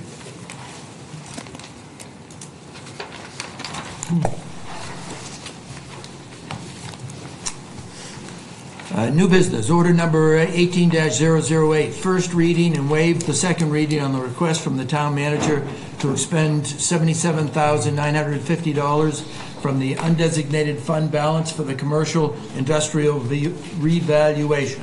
And I'll ask the town manager to introduce this matter. Yes, thank you, Chairman Donovan. Um, Really, since uh, 2014, when this matter went to the full, um, to the voters in terms of conducting a townwide revaluation, and we lost fairly handily, as I recall, I've been thinking of ways and how and when to advance this same idea again. Uh, The sorts of things that we identified back then have only continued to worsen, frankly. And it's really only because I've had challenges in the assessing office in terms of long-term stability and did not want to advance such an important project until I had confidence that we had um, our house in order, so to speak. Uh, So really presented with the opportunity late last fall of straightening out some of those staff issues, did I feel comfortable um, exploring this further? And to really satisfy my curiosity, I did issue an RFP to see if there were any qualified firms that were capable of doing this work, and I did receive two proposals from very qualified firms. And uh, I guess to my surprise and somewhat delight, uh, they were able to actually do it uh, much quicker than I thought. And so I present this to you really as an opportunity. Certainly, the town could wait and do this at some future point, perhaps part of a townwide revaluation effort. Uh, But the opportunity uh, does present itself to address uh, what I would characterize as kind of the most egregious, and by that I mean um, this, these classes of property, commercial and industrial, are uh, very well documented to be the most um, out of whack, if you will, that's a highly technical term, uh, from market. Um, On average, they're about 80% of market value based on sales analysis, and that trend's been confirmed year over year. Um, So I do present this to you as an opportunity. It is somewhat time-sensitive, and as the motion was uh, prepared, it did consider waiving the second reading. I've since had the opportunity to talk to the cons- consultant and understand more about their timeline. Uh, It's possible to uh, follow your normal adoption procedure and still stay on track. Uh, This work would commence in, in March. Um, There was the opportunity for the Finance Committee to talk about this matter, and I'll let members uh, of that committee speak to it. Um, For my purposes, the big takeaway I received was, let's do everything we can to get uh, the word out to the folks. And on that front, uh, I do have two occasions next week, um, SEDCO board meeting, this matter is on the agenda. Uh, That's a fairly small audience, but they have wide reach. More importantly, the following day, I'm addressing the Scarborough Chamber of Commerce in the annual um, State of the Town address, if you will, and I'll make certain that this is a highlight of that conversation. And lastly, I'm coordinating with SEDCO to do direct outreach to their email distribution list of 800 uh, active, you know, good uh, addresses. So I feel as though I'll have good, of good uh, access, and I'll be making them aware of how to voice their concern, including when this matter comes back to the council. So you'll be hearing about that as well. Um, With that, I think, I guess I'll stop. I'm certainly pleased to answer any questions you have. Any questions? Yes, Councilor Rowland. Could you just address the, the impact that this would have, like, f- which this would be for, my understanding is for the tax bills that are going out in September? Yes, this would be done in time, uh, this would be values as of April 1st of this year, and in time for the, this upcoming commitment in, in August of 2018, so for the next taxes to be issued. and it would be located, it would be specific to the commercial industrial classes and all the properties in those classes, not portions of them, but the entire classes. And I think that's probably an important distinction to, to draw, though I think we have the legal authority to do partial revaluations. In fact, the law court um, said as much. Um, I feel even more confident, uh, because we're doing entire classes of property, uh, that we could withstand any possible challenge should it come. But this is fairly common. There are examples all over the state where uh, this approach is taken. Other questions of the town manager? Counselor Um, Rowan. Actually, I'm happy to wait my turn. No, go. Oh, thank you. Um, um, Could, you- so I look at uh, revaluations as a, as a uh, fundamental fairness issue to make sure that everyone is paying their fair share. Can you speak at all to um, the, the impact that this is, this out of whackness uh, has had upon the uh, residential owners in, in the town? Yeah, the cornerstone of any uh, ad valorem tax program, which we have, real estate, uh, property tax, is, is equity. And Maine Constitution requires that all properties be valued at 100% of market value. Uh, That's impossible. That's a, a moving target.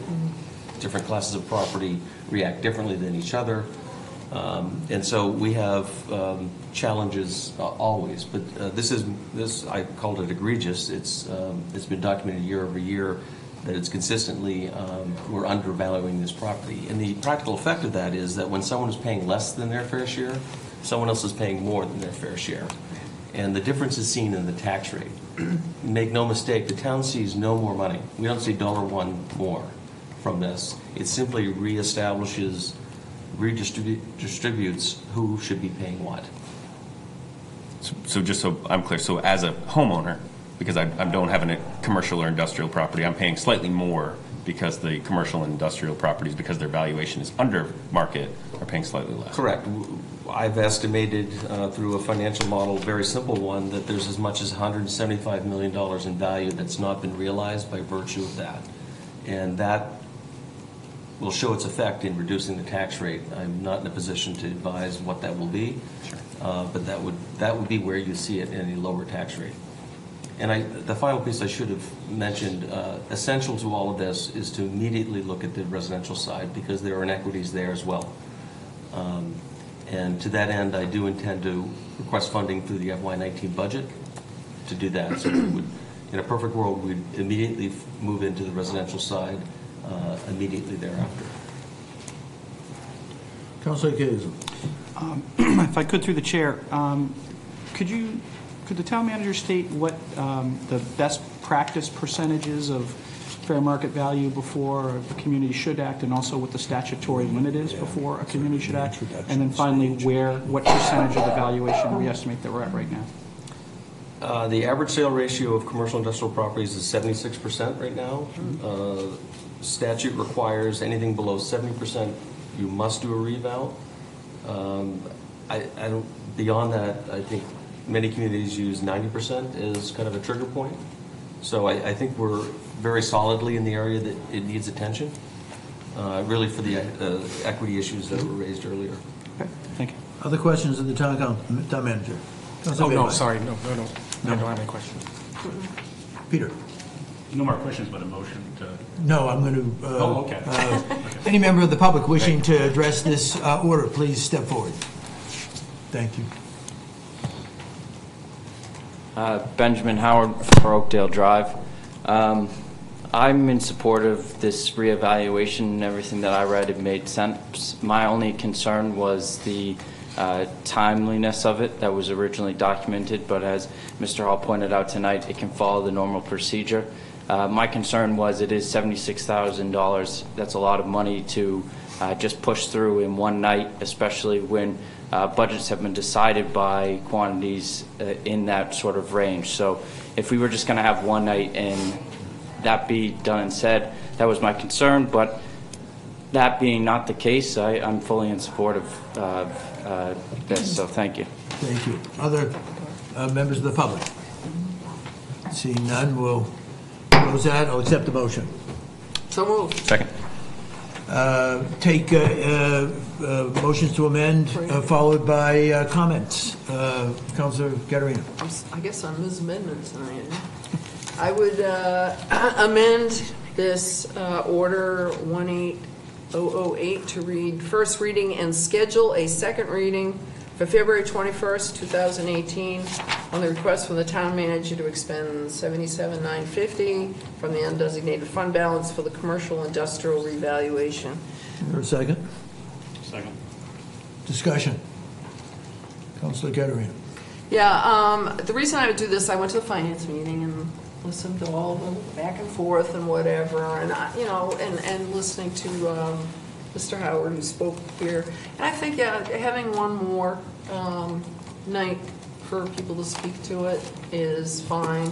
I know that we would like to get this going, I believe March first is, is what we're looking at. I mean, we're looking at a time frame. you gotta get this done, it can't be hanging out there. But I, I'm certainly willing to, uh, give it one more night for, for, uh, second reading. And uh, the town manager was able to speak with the KRT appraisal people to determine that we are able to squeeze out a couple more weeks, and we always want to follow uh, regular procedure if we can. Uh, Other comments? Council Foley? I was just going to say thank you. Uh, That was my big concern was, again, just not, I- I'm never comfortable with a one-and-done vote uh, unless it's absolutely necessary. Um, So I appreciate the time extension. Councilor Rowan? Yeah, I'm also appreciative, uh, and I'm uh, also appreciative that we will be reaching out to Chamber of Commerce and via SEDCO to, uh, to let the business community know that this is coming and give them an opportunity to weigh in. Um, And this allows us to do so um, and have another reading. Anyone else uh, wishing to comment on the motion to amend? Seeing none, all in favor? Opposed? Uh, Six to one. Uh, We're back to the main motion, discussion. Councilor? So while I oppose the amendment, I do agree with this um, uh, consideration. Um, It's very important, and I too looked at the inequity issue because, um, and we did talk about this pretty extensively at the Finance Committee. Um, The fact is that when we throw out data, such as what the estimated value might be, what the tax dollar rate might be, um, the impact to a budget is really speculative because the valuation process could come back either um, higher than the, the, um, the information that was shared, it could come back lower. I think in this particular group, though, you're probably not going to see it um, as um, um, volatile. And, and the residential side, um, we'll eventually see where probably, this is where, you know, Mr. Hall has said, um, and he's right, um, one-third will definitely go down, one-third will definitely go up, and then the other third will probably stay right at exactly the same. It's because of the, the population size. I think there was, what, 720 to 800 businesses that are part of the valuation, so your size is much smaller, therefore you're not going to see that type of volatility, where on the residential side, you have, what, I think it was seven, 7,200 to 8,000. Yeah, it's about So, 10 it's about um, 10% which, of the total. and, the- and at the Finance Committee meeting, we expressed a very strong cons- uh, desire to also move forward quickly um, and uh, um, starting the residential piece, because there needs to be a balance between the two, uh, especially as we talk about long-range planning around finances. So um, I think that this is an important step forward and support it and have ever since it was a council goal two years ago. And we- and we did have a Finance Committee meeting on this, and so I'm going to ask the Chair of the Finance Committee to provide a little report on that meeting. Yeah, we did. We had that, we, we had a special meeting. That was the, the one item we did discuss. I think, I think we're all in agreement that a reval needs to be done for the community. I think we had some different thoughts around things. I think one of the concerns I think we did get to is because this has come up, we are concerned about, we're not sure the business community is, is aware. So that was a suggestion, I think, you know, Tom committed to reaching out to the business community to get some feedback, feedback, which I think is important for the second read. Um, So I I think that was sort of where we ended up as a finance committee to, to move forward, is I think everybody agrees a reval should be done. Uh, I'll have Sal reserve some comments for later about some, maybe the sequencing of that, but that, that was our recommendation, that we go to the second read and get the business community feedback. Thank you. Councilor Caterina. Uh, Yeah, um, I, I think this is truly an equity issue. Um, Right now, as has been mentioned, our commercial uh, side, industrial side, is being borne up by, you know, the little old lady down the street who's struggling to pay her property taxes, and I don't think that's right, um, to be honest with you. Um, I, when I ran to get back on the council this summer, I talked to people about this when they said, well, what would you plan to do to help with property tax? Um, And I talked about how we could get the mill, mill rate lower by doing this sort of thing, to do a commercial industrial reval in particular, which I think is very important uh, for this community. I think people at home need to understand that this, this increase is not on home occupations. So just because you were running a business out of your house doesn't mean your tax is going to go up. It's real estate. So it will be the owners of commercial, industrial real estate, those who own the buildings, who will see an increase in their valuation um, once this is done, um, which I think, you know, is fair, it needs to be done. I know there's an argument out there, well, you know, business people will end up paying it because their lease or rent will go up. Well, yeah, I mean, they're gonna have to chip in at some point, but it depends on, you know, what your lease, how long your leases are for and what the impact will be. And I think for most people, it won't be an immediate impact, but, um, so I'm very supportive of this. Thank you. Councilor Caiazzo. Yeah, so um, obviously, as the third member of the finance, I participated in the discussions, and I I thought they were, they were very, um, very, very thorough, I guess, um, depend- for for what we had in front of us. Um, I will say that um, the longer we wait, uh, the the lo- the larger this disparaging difference is, and, um, you know, I- and correct me if I'm wrong, but I recall asking if the third, third, third is, is relevant with commercial industrial at this stage, and it's not because of the, the, the large decrease in valuation. So no one likes to pay taxes, no one wants to pay taxes, but it's really, in my mind, a question of equity and fairness. And, Um, you know, I'm, I'm, I'm a little challenged with the statement that the, the the residential is bearing the burden of that more so. There is an equity there, but there's also an equity on the residential side too. Mm-hmm. So, you know, tax fairness and tax equity is a universal issue. It's not specific to one group, residential, commercial, industrial. And I think we've got a responsibility to make sure that that is as equitable as process as, pro- as possible. And the longer we wait, the worse that difference is going to be, and the harder that impact is going to be for the town to absorb it. So I, I'm all for moving this forward, um, and I'm also, would also support moving into residential as, as quickly as, as possible after that. Councilor Hayes. Yeah, I think, um, a couple of things. One, one I just want to say, um, there's no guarantee that, I mean, a statement was just made that by doing this commercial reval, that individual property taxes will go down. That's not necessarily true, because we'll have more town valuation in dollars, but we also have this year's budget we're, we're contending with. So my guess is that the mill rate, the taxes probably won't be going down. They, the increase may be less than it was otherwise, but I just want to make sure we're not setting expectations that we're not going to meet. For me, I think absolutely, the question about fairness and equity, there should be done. The question that I just brought up is, is more of the optics thing. You know, part of what our goals were this year as a finance committee is to do a better job of doing financial planning, strategic planning.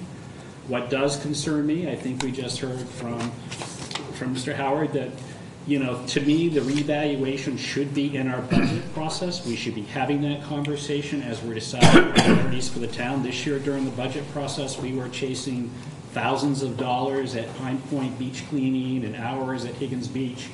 This is a seventy-seven thousand dollar unbudgeted item, and as you heard the town manager say, we've known this for a while. This is not new information, it should be part of our, you know, planning process. So I have a concern about that. The second concern is, having been in business, we're talking about if, if, if the assessed value is seventy-six percent of full value, you're talking about businesses maybe getting hit with a tax increase of twenty-four percent this fall. And if you're in business, most businesses are on a calendar year budget. The big box stores, the store managers and the employees in that store are responsible for budgets. If they come in over budget, the first thing they do is they cut payroll hours. So I think we need to reach out. I think that's why we as a finance committee said, maybe the business communities will be fine with this, but I think we need to do that, reach out. We need to make them aware of what's coming. If they're okay with it, that's great. But I, I am concerned, we need to do a better job with financial planning. This type of thing should go into the annual budget so we can make choices. This is an unfunded, unbudgeted item that we should have anticipated. So that, that's my issue. I think we need to do an evaluation. I'd rather do it everybody at the same time, so everybody's on a level playing field, so we don't have one group feeling like somehow they've been, they've been, you know, singled out. And there's also an issue of optics, that a total revaluation, the last time we looked at this was over five hundred thousand dollars. So we had talked about bonding at that time, which means it had to go to the polls. If we break it up in two sections, The optics might be, we're trying to avoid that. So I, there's some optics and some trust and some transparency issues that impact me and just how I'm perceiving this. Thank you. Counselor Caiazzo? Um, So I, I, I just want to make sure I'm, I'm clear about this. We're not, the, the discussion of mill rate versus valuation are two separate discussions. We're talking about valuation, and that's what the property's value at. The mill rate is established at the end of the budget cycle at a certain time when the assessment value comes in, and, and that's, they're, they're, they are linked in terms of your tax bill, but nothing that we're doing here is affecting mill rate. It's valuation only. Is that correct? That is correct.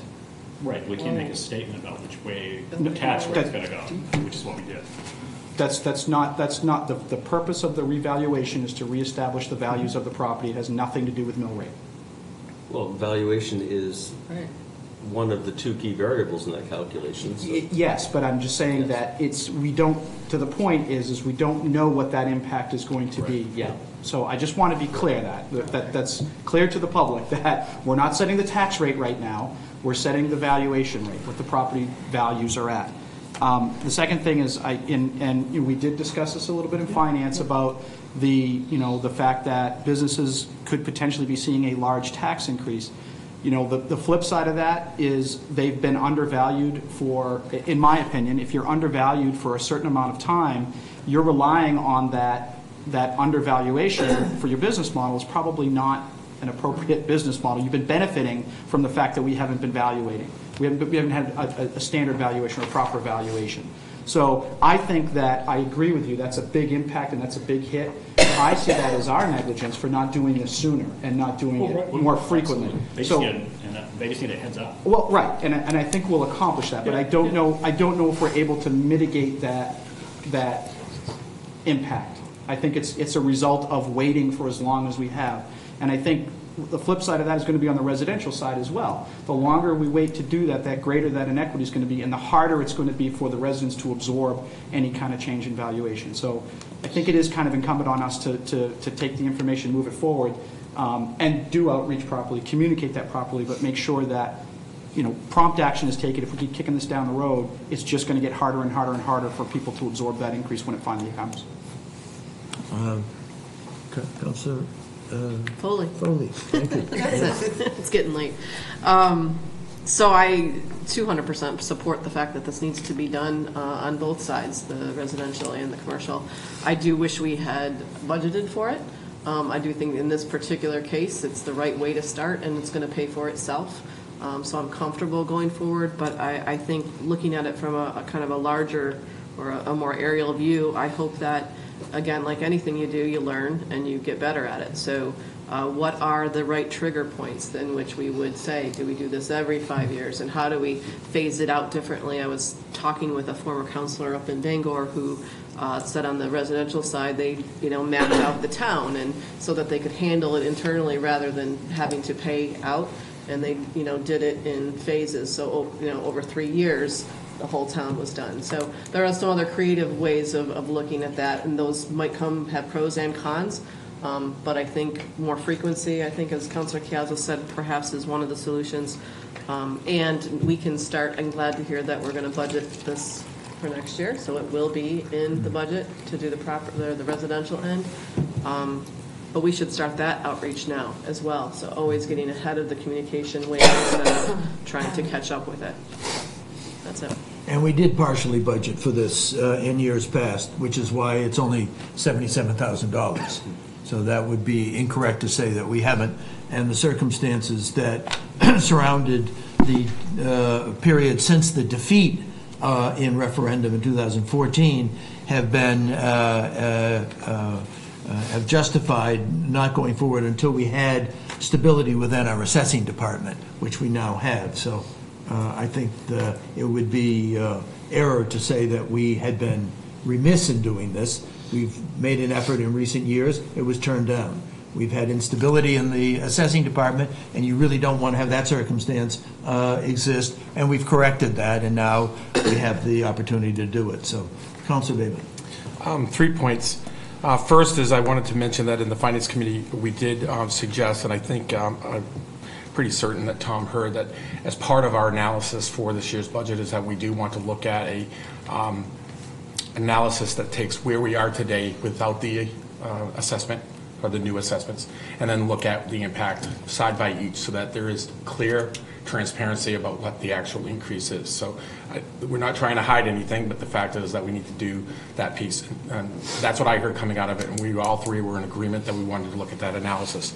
Second is that optics is sometimes over amplified by the words that we choose, and I think that it's also about the information that we share. The reason why it went to the voters last time wasn't about whether or not we needed to do evaluation, it was whether or not we were going to fund it by a bond. That is the only reason why it had to go to the voters. And the voters said that they did not want to bond it.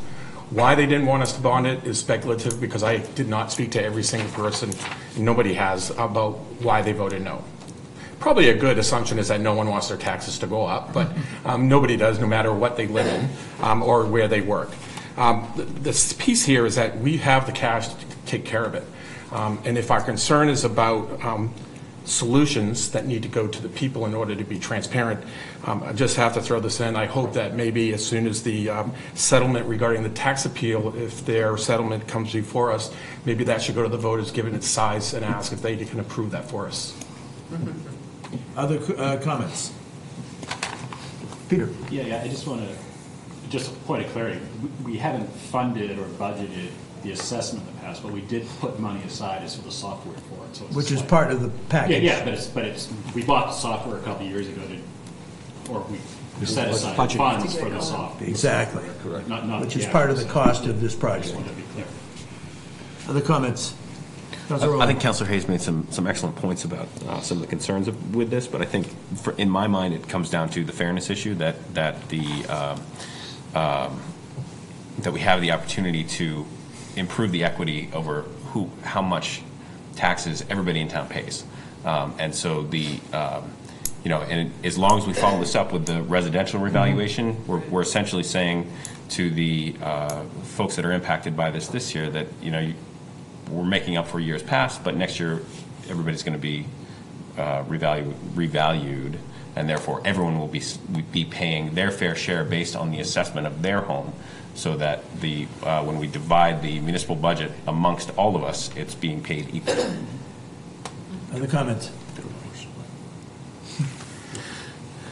I, I think this is keeping faith with uh, all taxpayers.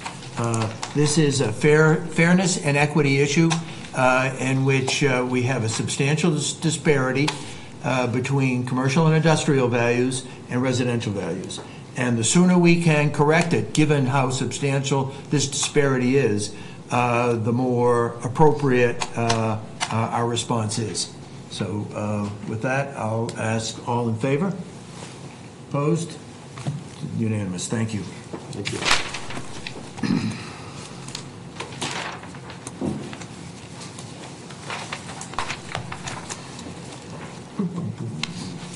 Order number 18-009, act on the request in support of a community development block application on behalf of Habitat for Humanity. They are seeking uh, an $18,000 uh, CDBG funding to support uh, final infrastructure improvements, uh, i.e. final coat of paving at the Carpenter Court uh, subdivision, and I'd ask the planning director to introduce this matter for us. Sure, thank you, Mr. Chair. Um, As you just noted, uh, this is a request really from Habitat for Humanity for the CDBG funding, which is Community Development Block Grant funding. Uh, Scarborough is a participating community in the Cumberland County uh, block grant funding source, which is ultimately through HUD. It's a federal grant source. Um, sort of long, just a, a bit of background on that. Um, but essentially, the request is the program requires that the, the participating municipalities be the applicant. Um, and so in this case, um, Habitat for Humanity approached the town. Uh, I spoke with the town manager. We didn't have any particular grant applications we were putting together. Um, and there's, there's um, pretty finite or, or discrete elements to which you can apply for funding. Um, and it's really around uh, meeting low, moderate income families and households in discrete ways. And this project um, they requested that we be really the host for their application. So the town's not being asked to do anything other than support the grant application. There will be a little bit of administrative work from my department, um, but it's not going to be a heavy lift. Uh, Fortunately, the folks at Cumberland County have a good staff that help with a lot of the, um, the the federal checklists that need to be done. Um, So there will be that bit of participation, but there's no actual monetary request to the town. Again, we're being asked to sort of be the host, if you will. And then just a little background on the actual project itself. This is a project for which the town was the active participant uh, for two CDBG grants. One was a planning grant around uh, developing the concept for the affordable housing. Where this pro- um, project is being developed is off Broad Turn Road, uh, just as you come towards the turnpike. It was a town-owned piece of land that the town had purchased from the Turnpike Authority with the idea of, at some point, having an affordable housing project there. So we got one grant for the planning, and then uh, in subsequent years, we went back and received a secondary grant uh, for actual infrastructure improvements, and that was to run the public sewer line uh, from a point on Broad Turn Road up to a point at the access uh, to this uh, development. Um, So those were actual active grants that we were really sort of the leads of. Here, again, um, Habitat for Humanity being who they are, uh, always trying to sort of, um, uh, you know, look for other funding sources to benefit their, um, their residents, are requesting that we host the application. So hopefully that answers questions as we go. Thank you. Questions for Mr. Chase? Seeing. Thank you, Jay. Uh, Public, uh, any member of the public wishing to address this, please approach the podium. Now we'll close the public, uh, accept the motion. So moved. Second. Discussion. So I, I just want to take the Councilor opportunity, oh, thank you. I just wanted to take the opportunity to say that I, I love this project. Uh, I love the model, um, and, uh, uh, I'm wholly supportive. Other comments? Council Caterina? I'm also a big fan of uh, Habitat for Humanity. I think what they do is awesome, and the fact that they're doing this project in Scarborough is more than awesome, so I would support this also. Other comments? Uh, uh, Habitat for Humanities makes a tremendous contribution uh, in our town and elsewhere. Uh, I think the support that we feel for their efforts uh, uh, uh, should uh, hopefully allow the town manager to carry on discussions with Habitat for Humanity to see if we can develop other projects that would uh, support the mission of affordable housing. And I think I probably could speak for all of us in that regard. Uh, Seeing no further discussion, all in favor? Opposed? It's unanimous. Thank you. Uh, Order 18-010, act on the request from the Scarborough Housing Alliance to utilize funds from the Affordable Housing Initiative Fund in the amount of $100,000 toward the Bessey Commons uh, 2 uh, uh, project and authorize the town manager to sign any and all documents related to this order. Uh, I'm going to ask the Housing, Scarborough Housing Alliance uh, Chair, uh, uh, Marge DeSantis, to introduce this matter for us. Thank you. So you saved the best for last. Um, I came before the council back in October, early October, I think the 4th, and outlined our plans of the Scarborough Housing Alliance. Um, We were going to prepare an RFP, but at that time, we also talked about carving out Avesta and Bessey Commons, Avesta Southgate project and Bessey Commons, because those two projects were already in process. We have completed the RFP. We're hoping, I think you have a copy of it. I think everyone received a copy. You didn't get your copy? At the end. At the end, okay, never mind. You will get a copy. Anyway, we finished our RFP, and we're hoping to have that out tomorrow, Monday, what, you know, ASAP. But meanwhile, we had carved out these other two projects. Um, The Bessey Commons um, expansion, Part Two, will receive one extra point on the Maine Housing um, uh, process.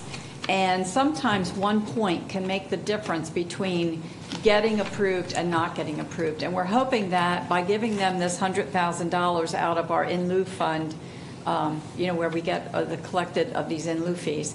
We're hoping that giving them the $100,000 grant, which gives them a point, will be enough to bump them up in, pro- in the process and get approved by the Maine State Housing Program.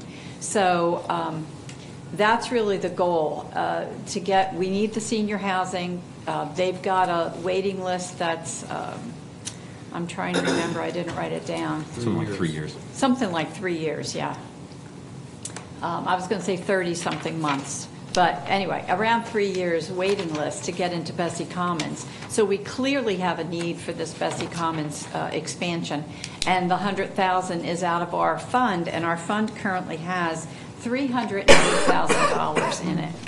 Um, So we get a big bang for this 100,000 uh, if we're going to get, I think it's 40-something units um, from the Second Bessey Commons uh, program. So that's part of the scoring system. It has potential to make them more successful, and that's why we ask for um, your approval on dispensing the $100,000 grant. We wouldn't actually dispense it, I'll take that back and reword it. Approving the $100,000 grant. We would only dispense it if they were approved by the Maine State Housing and got the award, et cetera, et cetera. Okay, so we ask your approval to confirm the $100,000 grant. Um, And then we're also going to be addressing very shortly on our next agenda, Avesta has also come back to us with some uh, funding uh, request for unforeseen environmental uh, issues. So uh, we'll address that soon. But right now, we just have the 100,000 for Bessey, and those were the two projects we had carved out. Any questions? Questions for Marge?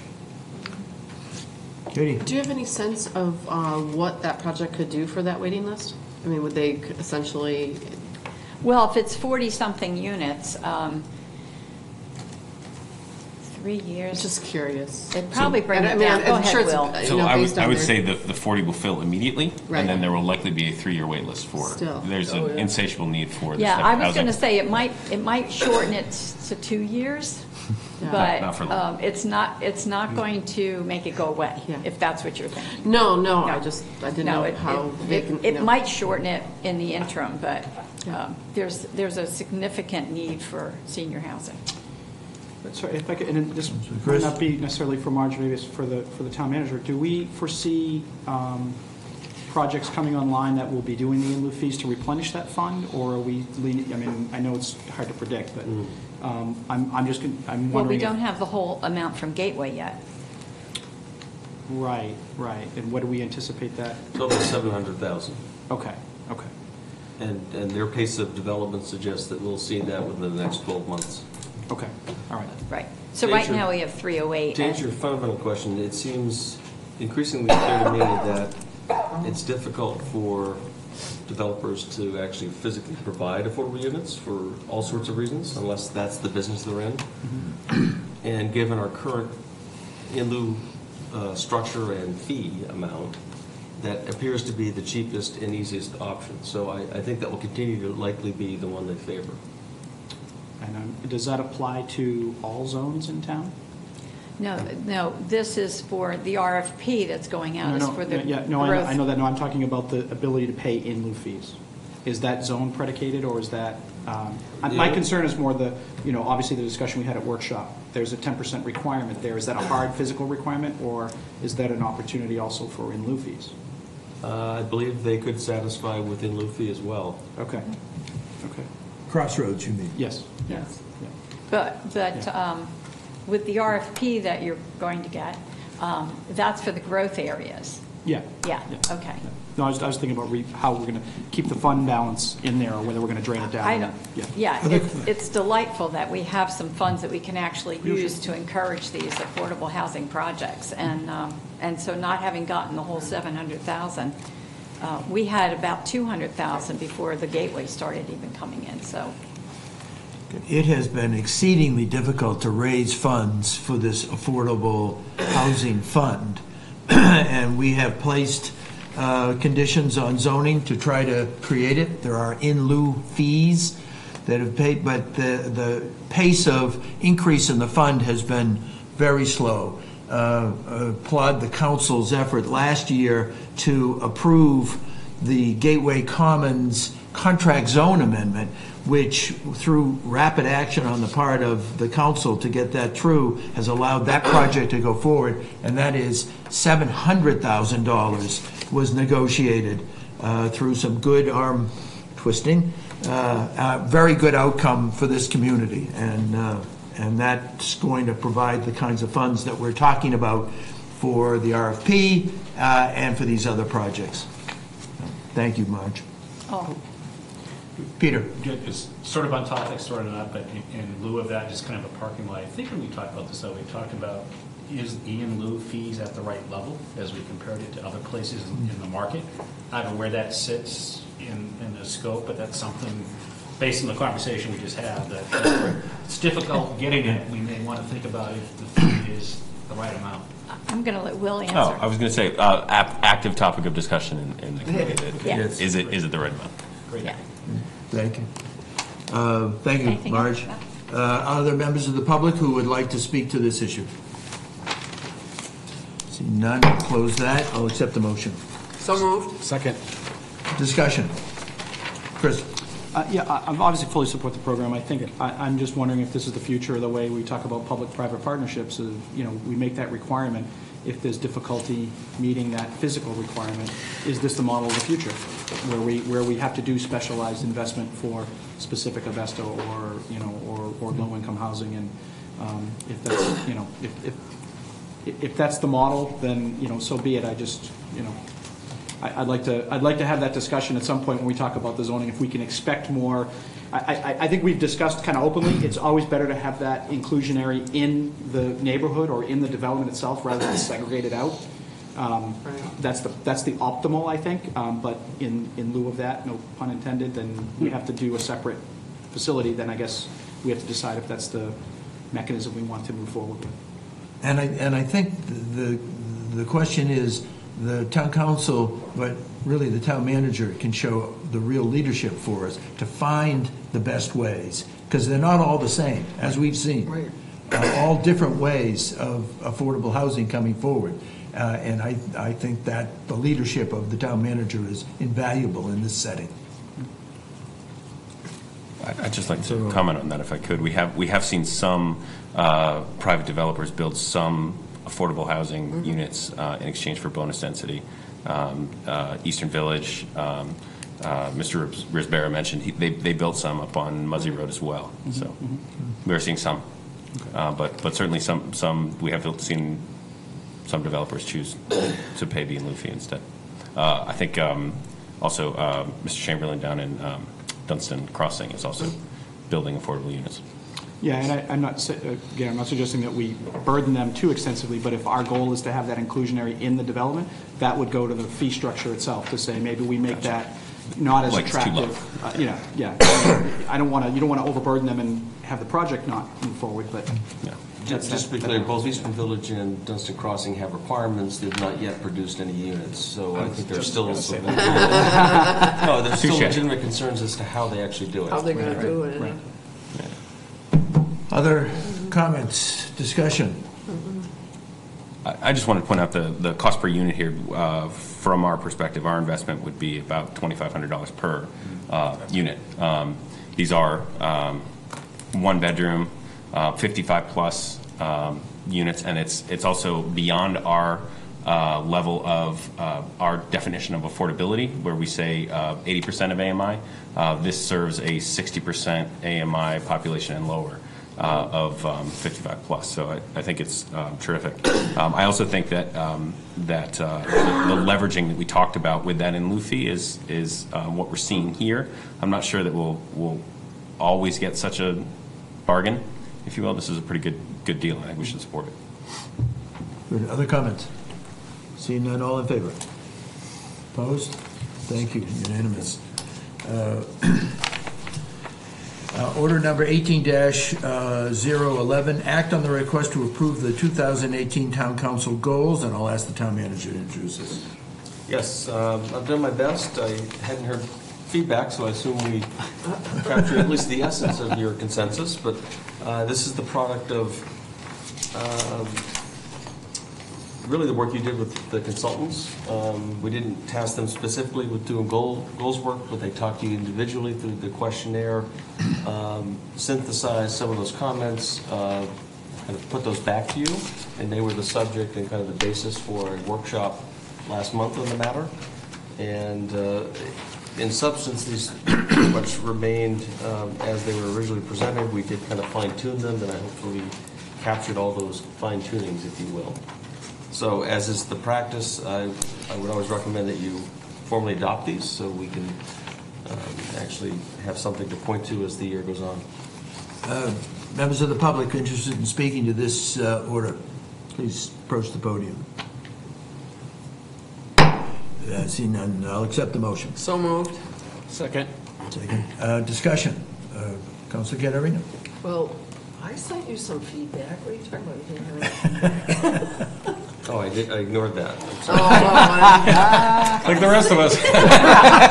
All right, let's not No go backbenching. there. That's against our goal, isn't it? That would- That's against our See, goal. That was not civil. We have no- Um, and, and I, I read through these slides, and of course, being the chair of communications, which got canceled today because of this, but that's okay. I just, the community relations one jumped out at me because that's one I've been most involved with. Um, I'm not asking for any changes on these goals per se, but I would, I would ask that we do some accountability factors with it. Because you, you make all these statements, but there's no way to measure them. There's no way to, it's like, okay, you know, what are we doing? Like, for example, uh, community relations says continue to build trust with constituents, and I changed that to be continue ongoing written communications programs, Facebook, email, newsletter, and the leader column that cover varied communications issues and programs, just as an example. And the second one, I said, continue to provide opportunities for small neighborhood-based conversations around such, ugh, such subjects as the budget. Um, This year, the plans are listen to learn and budget dialogues. Uh, And then I had encourage counselors to respond in a timely respectful fashion to constituent emails. And then I also had encourage constituents to engage respectfully with the town council, town staff, and community at large. So that was just, those were the changes I made to community relations, but I'm fine with leaving it like this, but, I mean, that's me. And for- forgive me, I was flipped with my response. So I- that's I- okay. I did receive them, I considered them, but this was a consensus-driven process. I didn't feel comfortable taking comments of one and putting them in front of you, so. And uh, i- i- if, it- if it makes sense, I would like to take a crack at an action item uh, annotation of this product, uh, so that we actually achieve what uh, Council Caterina is talking about, as have clear, uh, a clear understanding of what would make us be successful in addressing each of these items.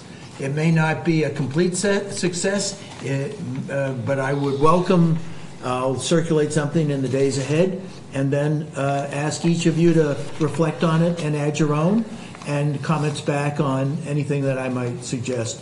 And we'll then bring it back again for things that we want to actually try to accomplish to achieve these goals.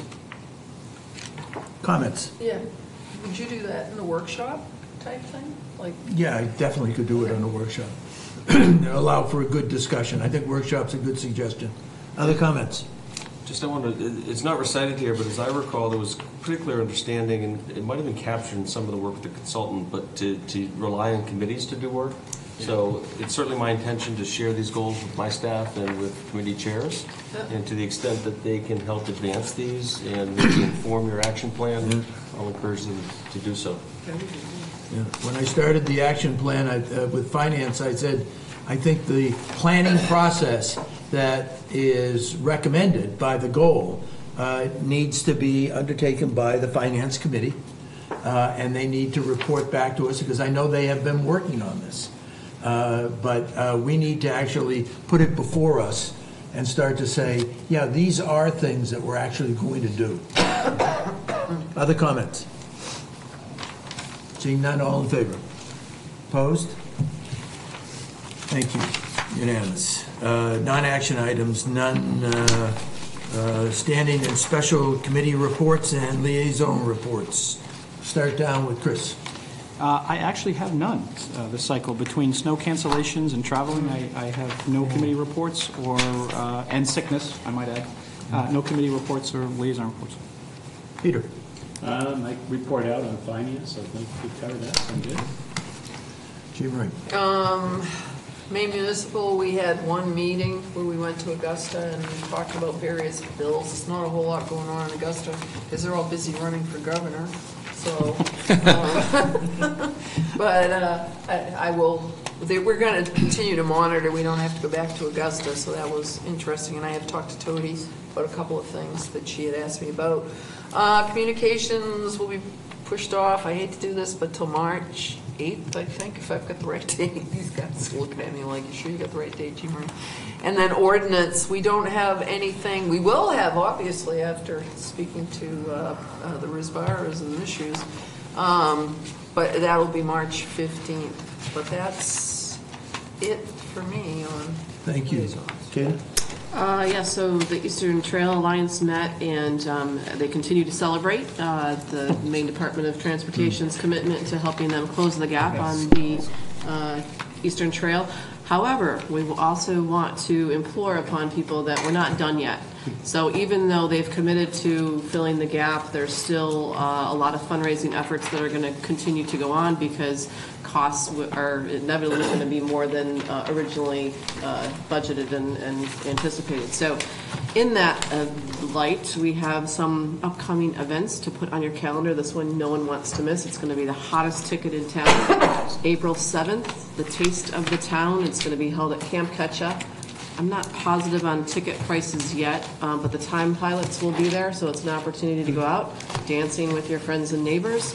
Um, Some great silent auction items, if there are businesses out there who would like to donate to the cause and uh, via silent auction items, please get in touch with somebody, myself or someone else from the committee. Um, and there'll be more to come on that event. There's also a few spring runs planned. The annual uh, John Andrews Memorial 5K, uh, which is done in partnership with O'Reilly's Cure, will be on May 19th. That is also, uh, those funds will also go to the Eastern Trail Alliance as well. So sign up, get out there, get active, move. Thank you. Council Rowland? Yes, thank you. Um, So the uh, Historic Preservation Implementation Committee met last night.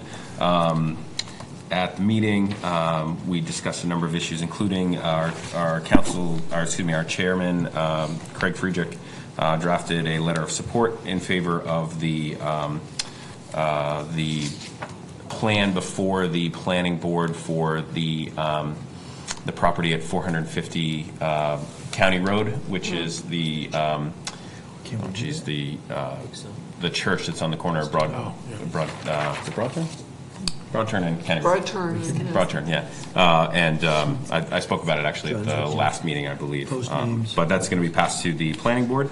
Um, We also spent a lot of time, um, our, uh, one of our members, um, Jessica Holbrook, um, has been going through all of the uh, 48 properties that are on our list.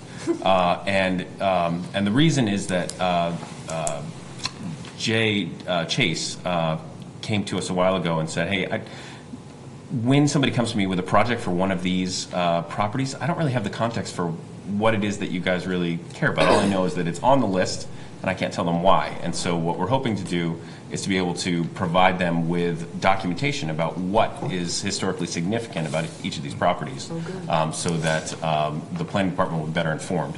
Um, And uh, she's been doing some great work. Uh, It's been really somewhat challenging to kind of marry up the, uh, the lot number with the property on a map and then figure out what it, what, exactly what it is. But, um, but it's, uh, it's good work and it continues and, um, uh, we're all supportive of it. We also had made reference to, um, excuse me, moving on, Affordable Housing, uh, Scarborough Housing Alliance also met, uh, since our last meeting, um, and we finalized our RFP. Um, so as alluded to earlier, I'm gonna pass these out if you can pass them down. I printed six copies, I promise you, but I only have five copies. We know, who- we know who you like, and don't like. That's because you didn't vote for my amendment. That's right. Uh, So, um, a- as uh, Marge alluded to, in- in October, we came to- forward with a plan, um, which was um, uh, to put out an an RFP. And and so Uh, The account balance after, uh, right now is at um, uh, 300,000. That's with a, something just north of, we we think it's um, roughly $100,000 so far that Divine has contributed.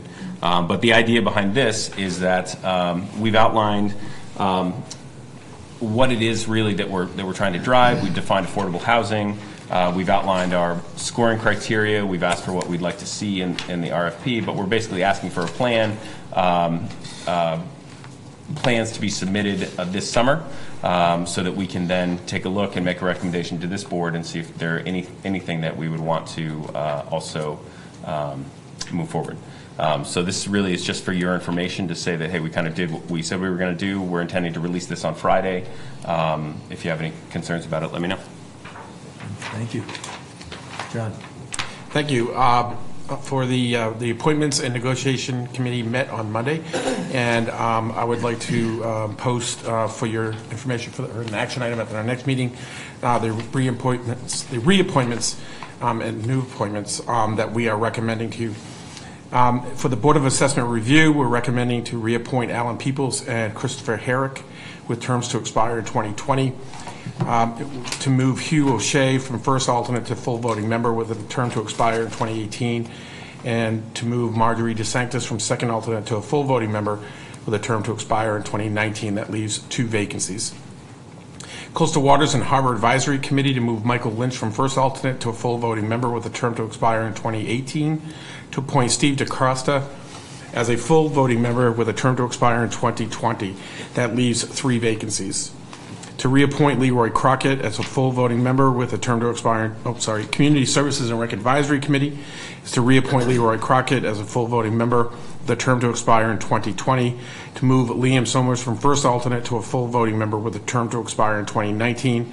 And to appoint Tim Lindsay as a first alternate with a term to expire in 2020. There are no vacancies. Conservation Commission to reappoint Ben Keller and Suzanne, um, if I pronounce that right, Susan Nixon, as a full voting member um, with a term to expire for both of them in 2020, and to reappoint Steve DeCrosta as a full voting member with a term to expire in 2020, leaving no vacancies. For the Energy Committee, to reappoint Anton Boder and Judy Roy as full voting members with terms to expire in 2020, leaving no vacancies. For the Housing Alliance, to reappoint Marjorie DeSanctis and Kimberly Fowler as full voting members with terms to expire in 2020, and to appoint Hugh O'Shea as a full voting member with a term to expire in 2018, leaving no vacancies. For the Parks and, Re- Parks and Conservation Land Board, to reappoint Sean Flaherty, Richard Murphy, and Jane Palmer as full voting members with terms to expire in 2020, leaving no vacancies. For the Personnel Appeals Board, to reappoint Jennifer Beatty as a full voting member with a term to expire in 2020, to move Emily Ward from first alternate to a full voting member with a term to expire in 2020, and to move Art Dillon from a second alternate to a first alternate position with a current term to expire in 2019, leaving only one vacancy. For the Pest Management Advisory Board, recommendation is to appoint Richard Sullivan as the dedicated arborist and horticulturalist with a term to expire in 2020, to appoint Tim Lindsay as the community services representative with a term to expire in 2020, and to appoint Rita Brenton as a member at large to fill a term to expire in 2018, leaving no vacancies. For the Planning Board, to reappoint Roger Beely as a full voting member with terms to expire in 2020. Also to reappoint Richard Dupere, Dupere, yeah, I think that's right, um, as a second alternate with a term to expire in 2020, leaving no vacancies. For the Senior Advisory Board, to reappoint Donna Mar- Donna Marie Collins and Kenneth Simons as full voting members with terms to expire in 2020, to move Jane Palmer from first alternate to full voting member with a current term to expire in 2019, and to appoint Hugh O'Shea as a full voting member with a term to expire in 2020, and to appoint Carol Spencer as a first alternate to fill a term to expire in 2018, leaving one vacancy. For the Shellfish Conservation Commission, we recommend that you reappoint Will Hamel and move him from first alternate to a full voting member with a term to expire in 2020, to appoint Andy Blanchard as a full voting member with a term to expire also in 2020, and to appoint Nate Orff as a first alternate with a term to expire in 2020, leaving no vacancies. And for the Zoning Board of Appeals, to reappoint Mark Maroon and Rick Lozelle as full voting, voting members with terms to expire in 2020, leaving one vacancy. Um, There is one additional committee that's not on here with no appointments, but I did want to at least mention, uh, we have the Cable Television Board, and we have seven vacancies, um, which I am looking for anyone interested, um, especially with the new technology we have in and an opportunity to really use a great resource. So there are seven vacancies on that board. Could, could Counselor elaborate how many positions are on that board total? I believe there's seven. Okay, thank you. Um, And then the, um, so I, that's in, the- not a formal motion, but that will be posted. I will not read this again for the record because it will be entered into the record tonight. Thank you. No actions necessary, but those names Correct. will be posted. Yeah. And um, in that process, I do want to mention, um, if you go through the, t- you probably, if you listen closely, or if you go through the text, I want to say thank you. There are so many people that are volunteering in this community, and many people are volunteering twice, if not three times, on different committees. So um, they give a pretty stellar level of uh, input, and I think it's um, incredible that they are uh, part of that. Um, And then I did want to mention, Oh, um, the committee also had a very long conversation around, um, particularly around, um, um, what's the word, communications with our committees, um, because we do have the all summit, you know, the all board summit, is- which is utilized in one area. But one of the requirements that is in our ordinance or in our policy is that each of our committees um, are supposed to submit an annual report, and we're going to work through the chair of the council, um, myself and him, um, to uh, reach out to them and come up with a nice template that's very easy to use, something very similar to what um, our town staff use for our annual report um, that can be uh, not too lengthy but succinct and informative so that we can include that as part of the annual report uh, so that they can see what they're doing because some of those committees are doing incredible, incredible work. Um, And I know the cable TV, uh, cable television committee is going to do stellar work this year, but um, that was a big uh, part of that. And the last piece is that um, the committee has, um, also because we're now doing what we call negotiations, is that um, we made a commitment last year, and just getting to it this year, in which we're going to look at the town manager's evaluation process um, from a um, context perspective, you know, is, is the manager's evaluation form uh, appropriate in today's environment, because it's been many years since that was implemented? Um, Is it the right tool? Um, As well as do a compensation analysis to see where we are as a community in the competitive market of town managers, um, and then uh, to kind of um, move that forward, because contract periods uh, go by really quickly. I think we're already in our second year uh, of the new contract, so we have some work to get done with that, and we're moving forward. Um, That's our big goal for this year, one of our big goals. And um, I have no other committee reports. Thank you. Town managers report. Yes, a few quick items. Uh, Public safety building update. It's been very busy. We've uh, successfully worked through a process to select a construction manager. This is the firm that will, we're bringing them on during uh, the design phase. So it's really important that they'll be part of the design phase, their whole team, along with our our architect and consulting team, uh, and all the way through construction. They'll actually build it as well. I'm pleased to announce that Landry French Construction, a Scarborough-based uh, company, uh, was awarded that construction manager position. Uh, Very pleased to have that local com- uh, component. Um, For me, one of the the really intriguing parts of their team, not only are they based in Scarborough, but two of the key uh, team members uh, live within a quarter mile of the site, uh, one on Sawyer Road and one in Gorham Road. And I think that's just intriguing that they uh, really expressed great personal interest and commitment to the project, and I I think we're going to be very pleased with that selection. Uh, Also, we have gone through a process to select an owner's representative. This is someone who will re- represent the town's interests. Uh, The architect, the builder, uh, all of them were on a team, but they all have their own interests. So it's very important that we have some technical eyes and support, and we're very pleased to bring them on, again, at the front end of this process, as opposed to um, after design, for instance. Uh, We've selected uh, Tom Perkins. He owns a company out of Turner, Maine, very highly recommended. Um, And I should put a shout out to both Rocky Risbara and Kevin Freeman, who have been incredible assets throughout this whole process. Uh, The sort of insight that they both brought to this evaluation uh, was, was just something that uh, we didn't know we didn't know. And so um, we're, we're that much better for their involvement, for sure. And I would remind the council and the public that both gentlemen, their companies could have potentially been on this project, but they chose at the front end to uh, remove themselves from the running and offer tremendous service to the community. Uh, We do have a kickoff meeting next Tuesday morning. This is to bring the team together for the first time. I don't expect there'll be a lot of work uh, getting done there, but it's really important and exciting. I want to mention that Deb McDonough, Deb is someone who uh, many of you may have known, but she's been tireless in her work on the Energy Committee, among other uh, exploits. Uh, She's been nominated and will receive the Eco Excellence Award this year through ecomaine. And uh, there'll be a presentation of that award on March 6th that um, certainly staff will be there to help celebrate. Also, I want to thank members of council who participated in our rating calls. We went through the fun task this week of meeting with, at least by telephone, with Moody's um, and also Standard and Poor's. This is uh, all um, uh, parts of our bond sale that's upcoming next week. And uh, we should hear tomorrow what, uh, what the ratings are. The expectation of our financial advisor is that we should maintain our ratings. Um, There's really not much more room to go up. So we're talking about very small changes at this point. Um, I think they went well, and again, I appreciate all of your involvement. Hopefully that was uh, enlightening for you. And lastly, uh, at your places this evening is the uh, financial audit. Uh, I've been working through the council chair and school board chair. Um, We need to do a joint presentation. Uh, The auditors are hired by you, the elected officials, and so the presentation uh, from them needs to be to you, and we've done it jointly, just to be efficient on time. Um, We're challenged with some dates, just because we have workshops already booked in.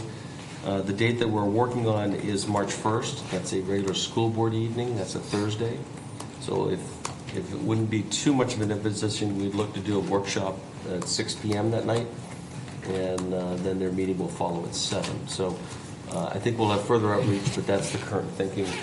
Um, And I should mention for the public, uh, copies of the, uh, the audit, uh, along with the management letter and and the like, are all available on our website if anyone wants to look at it. Uh, It does mean another night out uh, uh, for us, uh, but it's limited to an hour and it's 6 o'clock, so it seemed to me to be the most efficient way to do it. Uh, And we otherwise restrained for uh, finding the time to do it. Uh, Council member comments, Uh, start down with Sean. Thanks. Um, I just wanted to uh, say thank you to um, um, the owners of uh, Crossroads Development LLC, which is um, the three Risbara brothers, Mark, Billy, and, and um, Mark, Billy, and Rocky, um, as well as to um, Peter and um, Dick? Dick, Peter and Dick Michaud. Um, I thought their presentation was um, absolutely uh, stellar. I it's really nice to see how they're looking 40 years in advance and, and what the final outcome is going to be. And there's still going to be obviously a lot of questions and a lot of um, effort put into this. So um, I wish them luck, and I think that we're going to um, see a, a very incredible plan when we get to the end of that. And so uh, I'm looking forward to the additional information that's going to be shared with, you know, shared with them or shared by them. And last, it's uh, this is more of a personal, note, but I think that the citizens, when people come and make statements, um, they need and they make pretty uh, derogatory statements or uh, information shared that they need to be updated. So I can't remember the date, but um, um, everyone kind of remembers the unfortunate situation at my last council meeting as chair, in which um, Mr. Doyle from Falmouth uh, had to be uh, escorted out. And then he came to a town council meeting afterwards and presented us with uh, what appeared to be a summons or a a court case. And the reason why I'm bringing this up is that I think it needs to be made clear to the public that that was not done in proper order. And so they, he has not, not suggesting, it. I wanted him to move forward, but you know, a lot of people are asking, uh, at least ask me, so what's happening with this? Nothing's happening with it because it- was a, it was a false claim that was made and he never followed through with it. And I think the citizens need to know what the status of that is. In fact, uh, when he did go to court for that, um, the judge ended up, uh, and I don't know the legal terms, but um, basically stayed the case and pushed it out until like May or something because he irritated the judge basically um, based on the case. So people are, I see a lot of people and they're all asking because they think it's peculiar, uh, it's unique. It's unique. I'm trying to be polite about the word. So I just wanted to at least share it because I think that they need to know. Thank you. Councilor Rowland. Uh, So um, I'm going to be brief because uh, it's late um, and we've been here for a long time. Uh, But uh, the fuel rally is this weekend, so it's on Saturday, Saturday, Saturday morning? Sat- from 10 a.m. to... 10 to noon. Yep.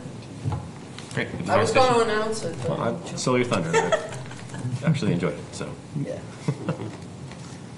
I'll be brief as well. Winterfest is this weekend too, right?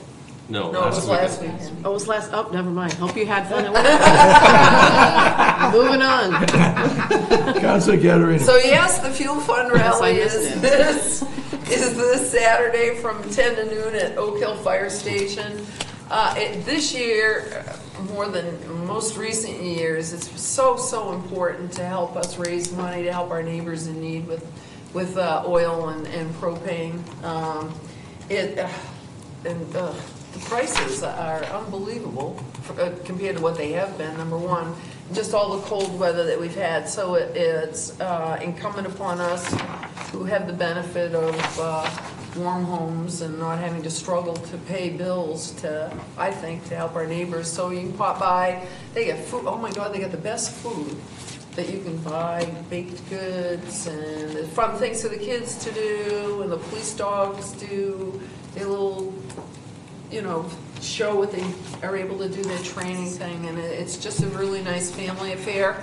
If you're really busy and you got too much to do with Hannaford's and whatever you're doing up on Route One, we do have a drive-through, you can make a donation. You just drive through one of the bays, leave your check, and move on. But uh, anything that you can do to help, I would be greatly appreciated. Thank you. Councilor Peter. I'm all set. Good. Councilor Kaiser. So um, I do want to thank uh, the town manager for um, giving us the opportunity to sit on the bond call. Um, I've been doing this for, between school and finance now for seven years, and you always learn something. And I was um, very impressed with staff and our consultants. Um, Those are pretty rigorous, um, and they know what they're doing, so they hone in on your weaknesses. So regardless of, uh, as a salesperson, I always appreciated the art of the, of the gab, if you will. Uh, They tend to blow right through that and say, uh, what about this? What's your plan to address it? And, um, you know, how are we going to, how are you going to hold yourself accountable to it? So definitely a good exercise for, for, for me to observe. I know, I know Peter listened in and, and Chairman Donovan was there too, but certainly an eye-opening experience. And uh, I want to commend staff and, and our, our bond counsel. They, they did a stellar job, stellar job. Um, Also had the opportunity, um, think it was last weekend now, to attend the ribbon cutting ceremony at Camp Ketcha for their um, solar initiative that they did with UNE. It was kind of a nonprofit project. Um, And I won't give you a lot of details about it because um, through uh, Chairman Donovan, we've invited Tom Doherty, the, um, the, the, the- executive director for Camp Ketcha, to come and give us a little um, speech, a little five-minute um, kind of uh, explanation of what happened. Uh, Great project, um, great turnout, and I I think you'll be pleased at all the very dynamic things that are going on in town, um, and this is certainly one of them. So I'm looking forward to having him come in next week, uh, or certainly next council meeting, um, to to just give us an update of where they're at and and and what they did, so. Thank you. Uh, uh, I too attended the uh, bond conference call. If you like bonds, very exciting. I personally got a good, I needed the sleep, so I, uh, I thought this was a good opportunity to get some. Uh, And, and let me just say, Deb McDonough could not be more deserving of this award. She is a wonderful contributor, served for years on the Energy Committee with her, and she is a dynamo. Uh, And so, uh, uh, congratulations to Deb. I'll take a motion for adjournment. So moved. Second. In favor? We are adjourned. One of these days I'm going to vote no. I'll make the motion and vote no. So. So just, just everybody. Yeah. Uh-huh. Individual. Yeah.